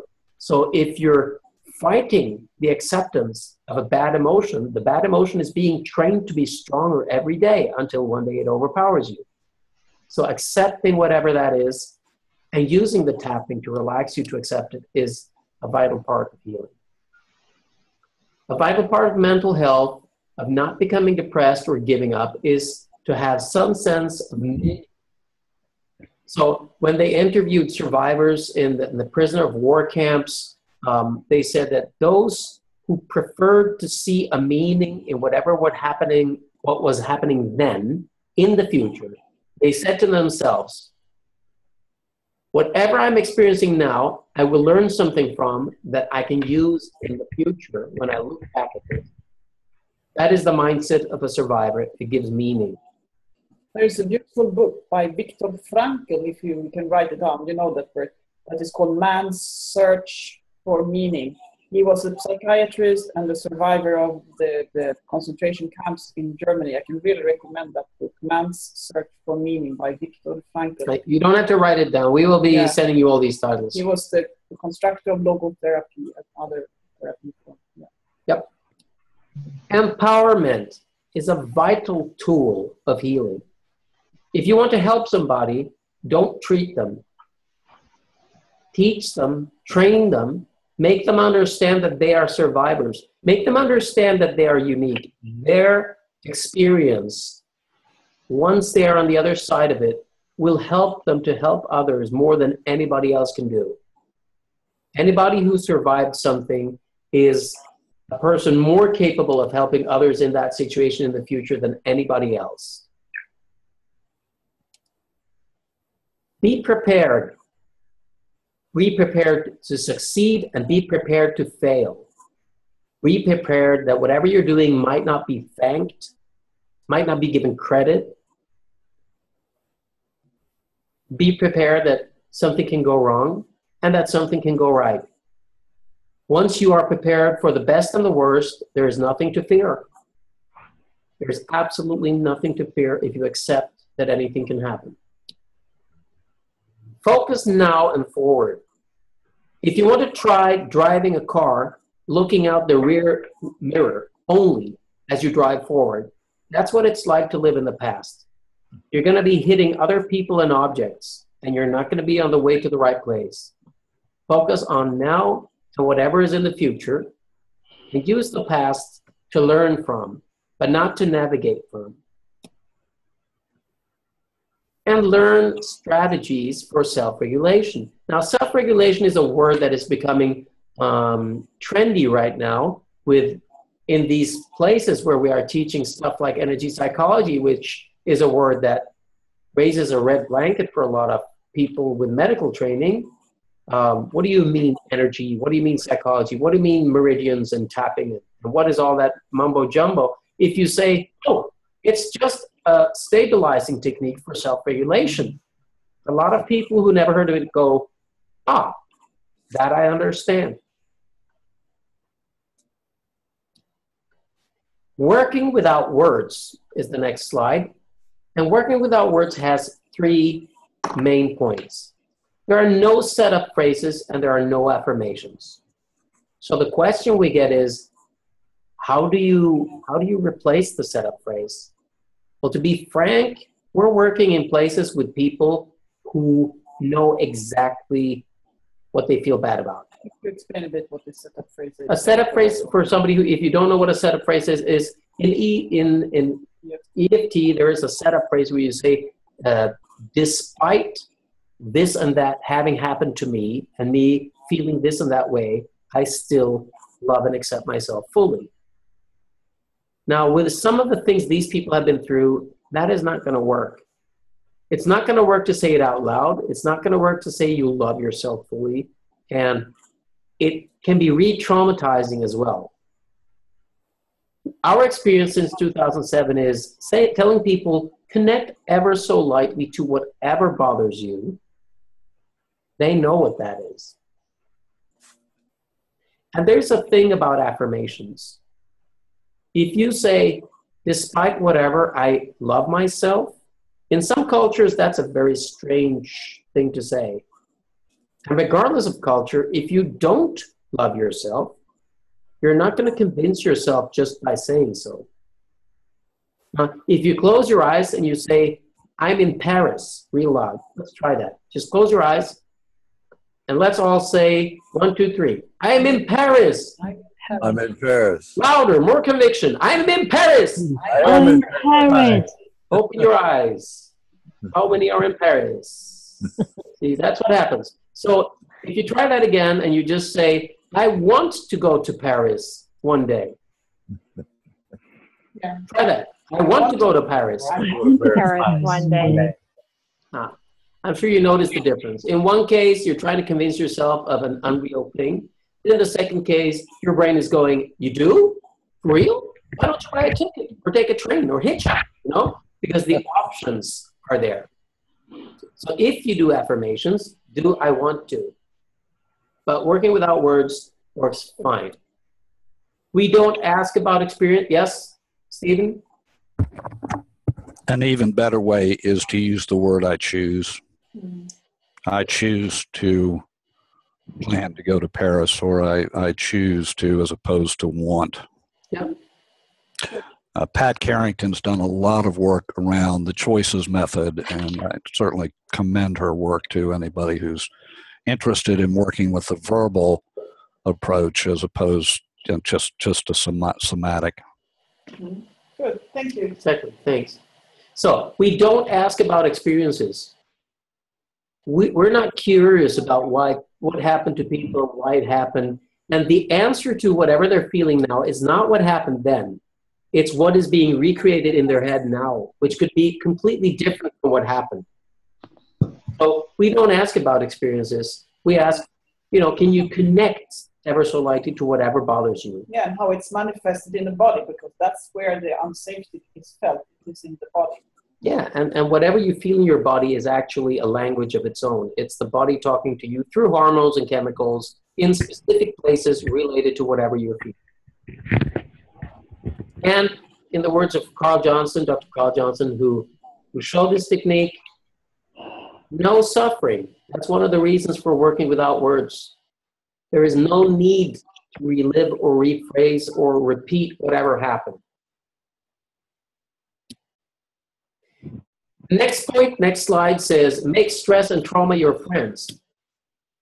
Well, that might sound strange, but by understanding stress and that stress is actually there to protect you and how it does that. Now, you were all sent a link to a movie, The Bucket of Resilience, which kind of explains stress. We also explain that with a glass of water, uh, which we can look at after through these slides. But understanding stress is part of the empowerment. A lot of people, when you explain to them that, you know, not being able to sleep or uh, pain in your belly or a chronic pain or migraine or uh, the need of self medication is a natural response to emotional or traumatic stress. A lot of people take a sigh of relief and say, Oh, how great! That means I'm not crazy. So understand stress and understand the encoding of trauma. The encoding of trauma is in the movie The Bucket of Resilience. Just understanding that trauma is encoded into your nervous system and the encoding responds to triggers. Those triggers can be something that you actually hear or see or feel or something you imagine. You also need to understand traumatic reactions. We're talking about this on the level of the survivor, not on the trainer. we want everybody we're training to understand a bit about this because then you're in charge. You're understanding why these things are happening. You also should understand that trauma, there's a transference of trauma. You know, my sister was raped, I wasn't. We live in the same house. Yeah, well, maybe you have a shame of surviving and not being the one raped, and maybe her trauma is being transferred to her children. And by understanding that, it also makes sense to do as a whole as a whole family instead of just doing it helping the person who allegedly was a survivor. This also comes to, the, of course, the vicarious trauma that can, and secondary trauma. For people, for example, working as volunteers, that we do to help others and not really taking care of themselves also. Like we were in Lesbos in the island in Greece, where at that time in last year there came a lot of refugees and a lot of the volunteers they got so sick because they didn't sleep at night because they wanted to be of, of help all day and all night long when there came new boats coming. And that was, of course, from a good heart, but it is not from a good mental health um, um, perspective. So they, I mean, like three days of no sleep and also listening to a lot of stories, you can get very, very sick. And that's why you should also understand somatization, understand how emotional and traumatic stress eventually manifests physically in the body so that you recognize the symptoms. And that's why we wanted you to do those um, those forms, to fill in the forms for the questionnaire before the training today. And if you haven't done it, please do it after, because it will go through uh, the points of somatization that actually are um, flags that there is a traumatization or stress. Just understand them, answer the questions. And again, understand self regulation. Once you self regulate, and any regulation you do is going to be self regulation, whether it's by the help of medication or by the help of somebody else, it is yourself that is regulating. So just understanding that what you need is to relax. Now, coming from hypnosis, there are three things that make people relax and that turns off the nervous system, the, the sympathetic nervous system. One is control of breathing. When you breathe out, you are not actively stressed. So stress comes on breathing in. So breathing out with a sigh is the body's own way of saying, whew, I'm glad that's over. So a sigh of relief is actually programming the body to relax. Number two is actually trying to become as heavy as possible. When your body is heavy and you can feel its heaviness, you're turning off the sympathetic nervous system. You cannot be stressed out when your body is completely relaxed. Trust me, I've done dental anxiety, and all I do is make people relax in the dentist chair, and they actually do not feel pain in the same way. The third thing is to allow your eyes to gaze without focus. When you go into a daydreaming stare, you cannot feel stress because the stress response goes into tunnel vision. The opposite of tunnel vision is daydreaming gaze, which also, by the way, gives you more of 360 vision, which is excellent for relaxing. So those three things together. That's why a lot of hypnosis is fix your eyes, go dazed, take a deep breath, relax, and go deep, and, and become heavy. So alpha theta does that. Daydreaming gaze is just a, a side thing, but I think it's nice to know. And just becoming heavy in the body. Right. So the TTT toolbox, you know, it's not, we don't only do the tension or trauma tapping. We have a, a number of self-regulating techniques. Now, tension tapping technique is the one you just learned, and trauma tapping is the same. It just, it's just the intent of it. And uh, then we have head holding techniques, and it's just extremely simple head holding. Now, we can't show you uh, Cheyenne and Robin, but we're guessing you know this. I mean, that's what we were talking about in the beginning. That is a part of what is uh, the technique called Tapas acupressure technique. Simplified and used in many different I mean, parts of the world, like all these gestures. You will, um, people have always been holding on to make people feel safe It also gives connection between the hands, the, the what you say, the palms of the hand, um, from one side to the other. It also connects, as you say, the visual, uh, what you say, the the, the, the visual visual center. What is it? Visual. Yeah. Yeah, on the front and the and the back. So it gives like a new view of old stuff. That's what how Tapas Fleming would express it. Um, yeah. So that is a very good, it, and it's very comforting, especially if somebody's really agitated. And the tapping is not a good, it's not a good idea. The head holding makes people really feel very safe. It's like feeling held, which is often the, the, the, the problem when you get into this anxiety. Is you're not feeling held. It's like you're lost, you know, in the world. So this head holding is a very, very good calming technique for any situation. Yeah. So if you have trauma tapping and you're doing trauma tapping or something, and somebody just says, "Oh, oh, I just got this exploding headache," and instead of continuing to tap, you can just hold their hand for five minutes. And we often finish the tapping sequence actually with this, saying that you can and you can even pulsate a bit, holding a bit more, and then uh, like that. It's very, very comforting. So head holding techniques are good to know. They're in the book in the PDF. Alpha theta breathing that we do between the two rounds, you can do that as a relaxation exercise in itself. It works lovely over Skype. Just tell the other person, take a deep breath, hold it, and breathe out with a sigh. And go heavy. Exactly. Somebody just did that. Wonderful. Uh, and then we have blowout. Blowout. We'll show you that in two seconds. Okay? Because we're we can see you, but you can't see us. And then we have do in, which is a, a self energy massage, which there's a wonderful video of Gunilla doing that we'll send you that you can It's just on the, follow. website. Yeah. It's on the website. Yeah. Yeah, if you haven't seen. It's like, um, I mean, you're going through the whole body, just actually tapping with your palm or almost all over on your fingers, all over your body, which makes things circulate of all different kinds. It's a very, very Yeah, we're, we're going to finish the last slide, but before we do that, we'll show you the blowout so we don't have to get back to that.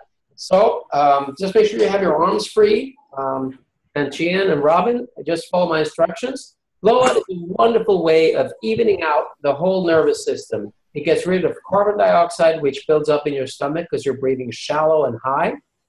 It uh, focuses, it energizes your brain, it gets rid of adrenaline, it lowers cortisol, and it takes like three seconds. So breathe in and reach your hands above your head. Hold your breath. Pull down your arms with your elbows first and breathe out. Oops. Don't, don't hit your partner, right? So let's do that again. Again. Again. Again.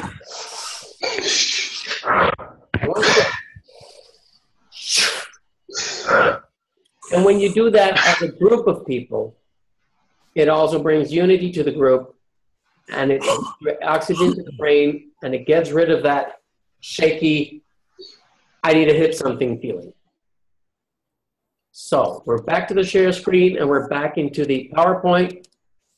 And then we have the point of working in cross-cultural groups. The greeting of joy is something we always do. We ended up with, with some greeting so you can remember it, but the greeting of joy is a great way to start.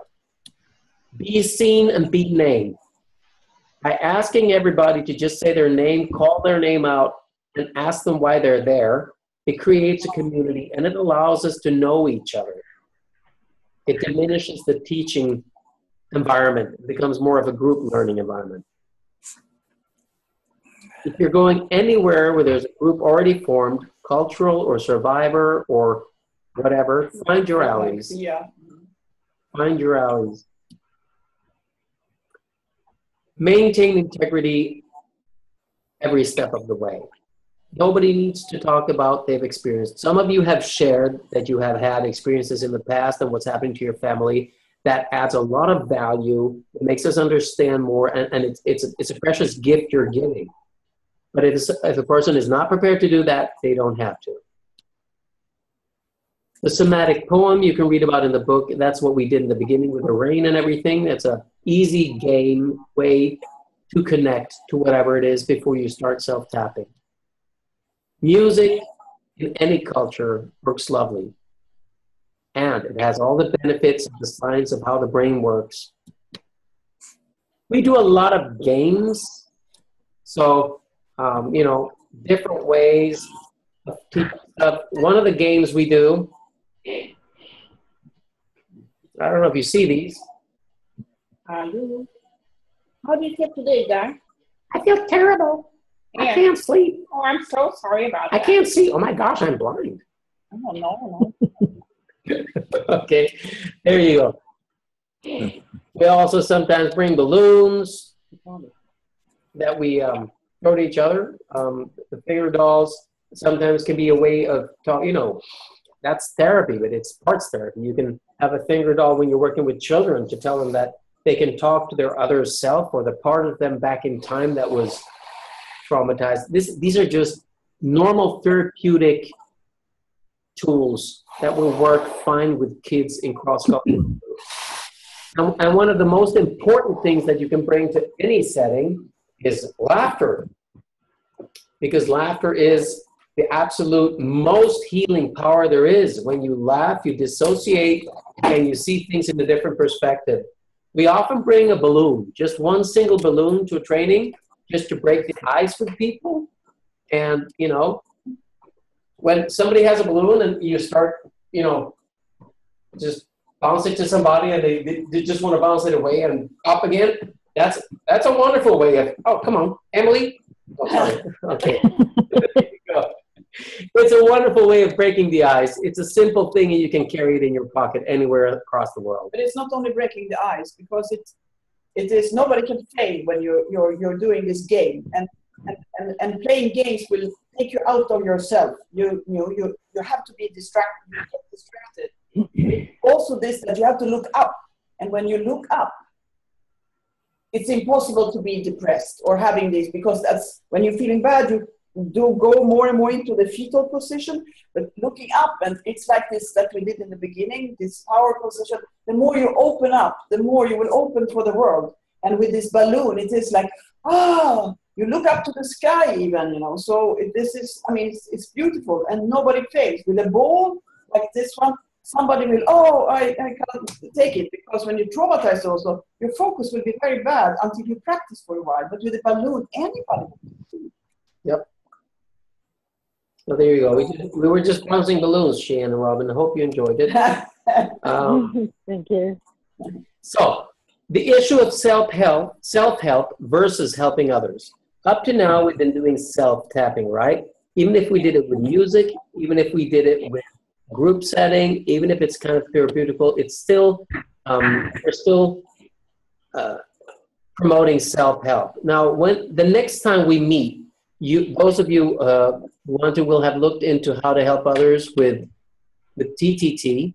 There are some things you need to think about that are the difference between helping yourself and others.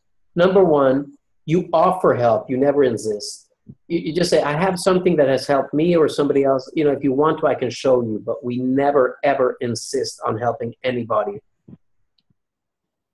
Also, before we help anybody, we make a deal. We agree on continuing until calm. If something comes up, and we usually tell people it's like an onion, you know, you could be numb. When the numbness goes away, you could be angry. And when the angry goes away, you could be crying. When your crying goes away, you could be, you know, frustrated. And when frustrated goes away, you could be laughing. And then you're angry again, and then you calm down. Because that's the, the onion of emotion. So just agree on continuing until calm. Also, we insist that you sit like two ships passing. You never sit in front of somebody that you're going to help with your legs spread apart. It's it's not polite, and it also is kind of a bad idea because some people, if they are triggered, they may have something which is called defensive rage, which means they want to simply get out of there. And if you're in their way, it's a bad place to be. So by sitting simply as two ships in the night passing, you know, we'll show you that, um, then you're cool. You're showing yourself first. This is what I'll be doing to you. I'll be tapping these points. Is that okay with you? You ask permission and you show them the exact point so that they won't be surprised if their eyes are closed.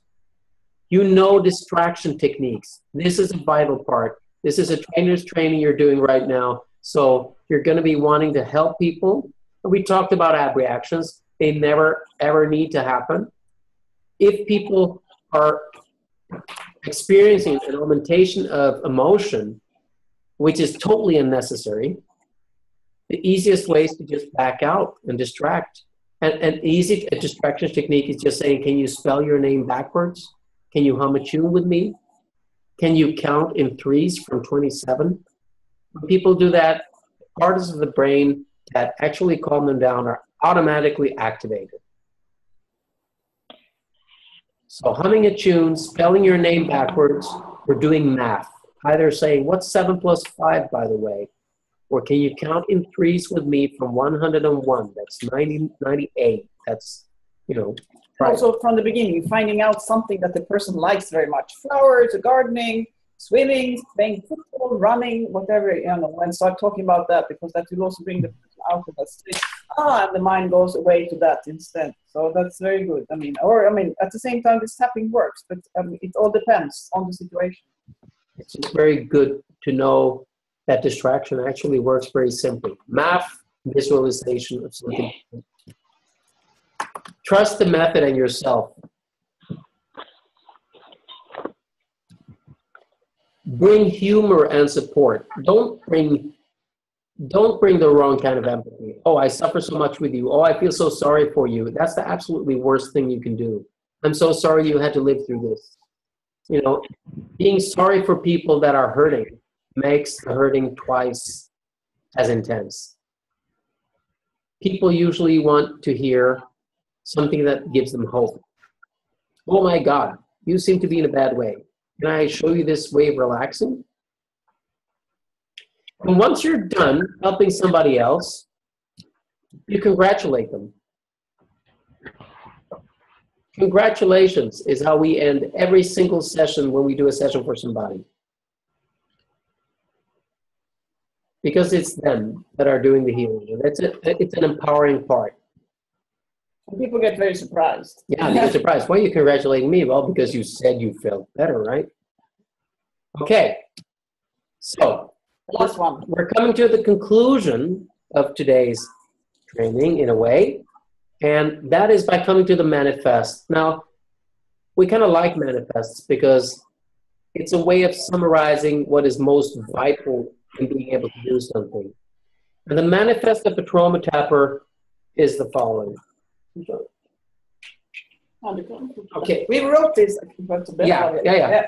Actually, this manifesto is quite new. I mean, not the content of it, I mean, the way, but the formulation of it. And it was actually like this that when we were going for the conference at uh, this uh, conference in, in um, Santa Clara in California in uh, beginning of June, where we would have met Emily if she would have come. Yeah. And, and, and because she's working with the ACEP, um, we came to, we landed in Los Angeles, which we realized after some time that it was much more far away from, from Santa Clara, which is close to, to, to San Francisco than we had um, got informed about and how we would have imagined, or I don't know. So we rented this car and started driving, but we were both very tired. And Ulf even has this kind of what we call narcolepsy light. That means that he falls asleep like this and then driving um, makes things very very dangerous especially when it turned out that we had to drive for eight or nine hours coming up and both coming direct from the flight from sweden is nine hours time difference so then ulf when he had to drive oh this is becoming very strange light okay anyway uh, but he had to drive also because I had to sit for a while too. I couldn't drive the whole way myself. And I said, let's engage in something. Let's write a manifest. So this is the result. So this is on this beautiful highway from Los Angeles up north to, to San Francisco along the Pacific uh, Ocean. And this manifest came about. Okay, please go ahead. Right, so let's do the manifest. So the manifest of a trauma tapper. Summing up what it's all about. Take your shoes off and listen first. Say that in any context you come to. Now remember, uh, we talk about cultures, cross-cultural. Well, cross-cultural means uh, an an American uh, doctor coming to um, an American war veteran. completely different culture. A carpenter coming to a, uh, a school teacher, completely different culture. Culture is not really that much about the country you're from or the religion you have. It's about, you know, your set of experiences and values. So always take your shoes off and listen. Come from a place of wanting to learn, of being curious, because you're going to be learning by every person that you meet, right? Be inspired. By being inspired, you will inspire others. Dare to fail. It's vital that you dare to fail. If you don't dare to fail, you will not succeed. Use what you have, whatever that is. If you don't have any hands, use your feet. If you don't have a carrot, use an apple. If it's noisy, never mind. Take no credit for healing. Yeah, that's the congratulation. Yeah, and it's everything. I mean, whoever is helped, whatever they're helped with, whyever they're helped, take no credit. And pay your way if necessary. If I mean, if you really want to help people, you know, don't worry about getting paid. You know, if, if necessary, pay your way, and if not, get paid. It doesn't really matter. It's not about that. Well, Wow, a double point. Mm-hmm. Ooh, you don't get to see this, Jan and Robin, but we have a double point here. I'll say, so bring humor and stability to the party. Whatever you bring in, bring humor and stability. And know your limits. Not only your limits in what you're able to do or not to do, know your limits in when you need to sleep. Know your limits in when you need to exercise, when you need to laugh, when you need to take a step back, when you need to take a step forward. Just try to know them and then, you know, test them. Everything depends. Everything. There's absolutely nothing that doesn't depend. And again, after having said that, avoid every stereotype. Because the whole cause of racism or gender based violence or violence of any sort is the creation of stereotypes. It's impossible to hurt a stranger without having created a stereotype of that person first. So I think fighting stereotypes is the main thing. Respect every person. Every person has a history you have no idea about. Whatever they're saying is true for them. Yeah, in that there is this. I love this quote. It says, "Everybody you meet is fighting a battle inside that you know nothing about. Be kind always. Because it is like we, I mean, it's so easy that comes to stereotyping, thinking about somebody has not this or not that. But everybody has a, a battle inside, and you cannot measure suffering. Um, so the battle can be of any kind, and still everybody is fighting a battle inside. And the way we can do is to, to, to approach it by being kind in different ways. So also know that the technique, whatever technique it is, is part of the solution. Learn the rest. The technique is part of the solution. Try to find out whatever the rest is. Offer. Don't insist. And the last point in the manifest. Are you ready there? Drum roll. Cheyenne, Robin, be prepared for miracles. Yeah, it is miracles. Miracles do happen all the time, as you know, you have tried. Right. So, welcome back to the studio. We're, we're getting to the wrap up. I know that with, with 45, 46 minutes overtime, we're sorry about that, but we just needed, you know, we needed to say all this stuff. Yeah, and I want to show a small video more. Do you have still five minutes to go? Sure. Hmm. Okay, Excellent. good. So we're going to show a video. Yeah, you're gonna And show but- but before, before we show the video, are there any questions so far? Because you will be on your own. We're gonna we're gonna be calling you up in a month. We're gonna do the same thing. We're gonna wrap this up with how to help others. But we want you to check that out from the site and the materials, and we want you to watch some stuff that we'll be sending you. Okay? Any, Any questions?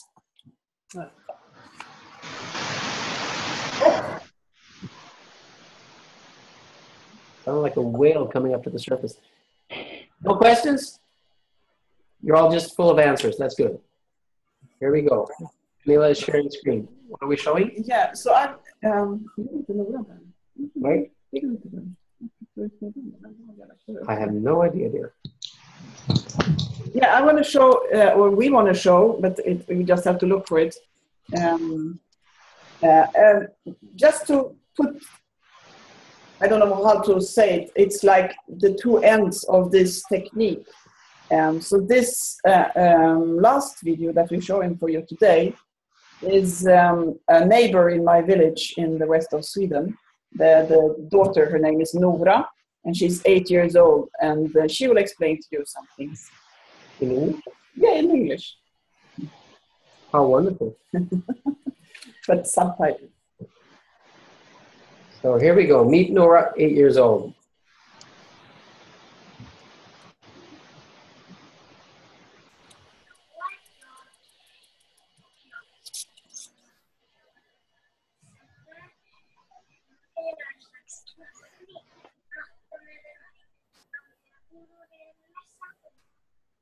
Kirk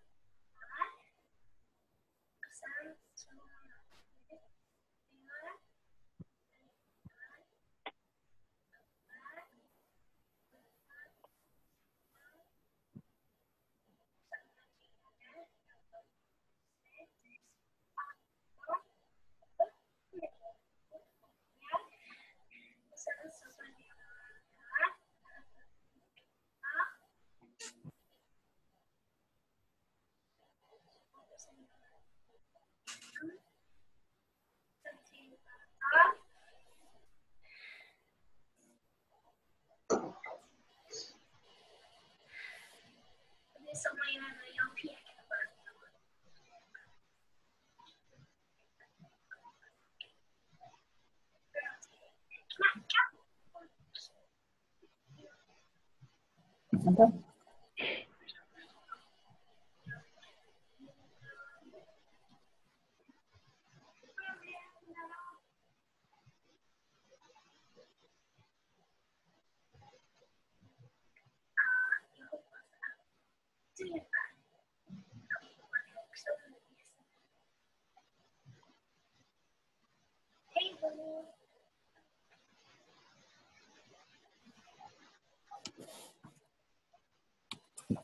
Yeah, so that was Nora. Just to, you know, it is uh, for this that, yeah, working in areas of, of conflict and genocide, but uh, also with the neighbor child who gets worried um, about things that she want to accomplish in school or something, uh, the parents get divorced and all this. That uh, we have the whole range of, of, of using this technique. As you all know, who have been using this tapping, that it, it, it is the same nervous system. Wherever we live in the world, whatever age, we have a nervous system.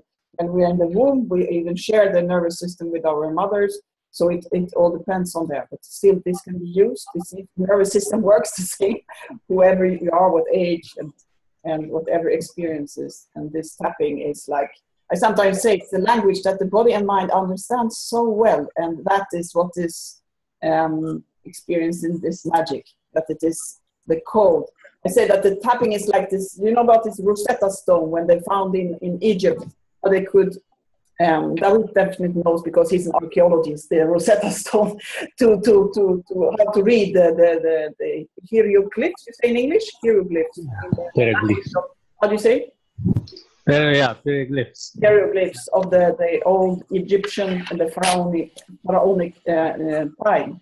So they found this stone that was the, the, the, the way to how to translate it and, and understand. So it's like this this this tapping is like the, the Rosetta Stone. Has the way of translating what happens in the, the nervous system. Yep. Yep. So, concluding today, we hope that you have received the information that you were hoping to receive. Um, if there was something missing, we'll be happy to say that it was totally intentional and you're getting it next time, obviously. Um, so we hope to have a little mail conversation after this. We will simply send you the mails and we'll ask you uh, stuff. We'll give you links to some of the movies we talked about. And we would like for you, because it's going to be a couple of weeks now, to do self tapping. If you try to do a group training in any simple way, if you need support from us, tell us. We can Skype with you personally. Uh, we can give you whatever support you need to just try and do a group training. The group could be your, your dog. You know, doesn't really matter. It's about doing it. It's about breaking those eggs. So um, bake whatever cake you want. Tapping others, if you already have the experience of working with others, please do try the TTT way.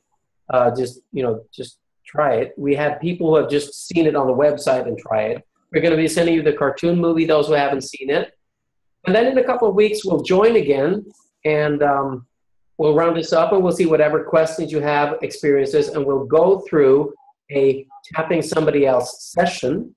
And if you have somebody that you would like to do that with, bring them to that webinar.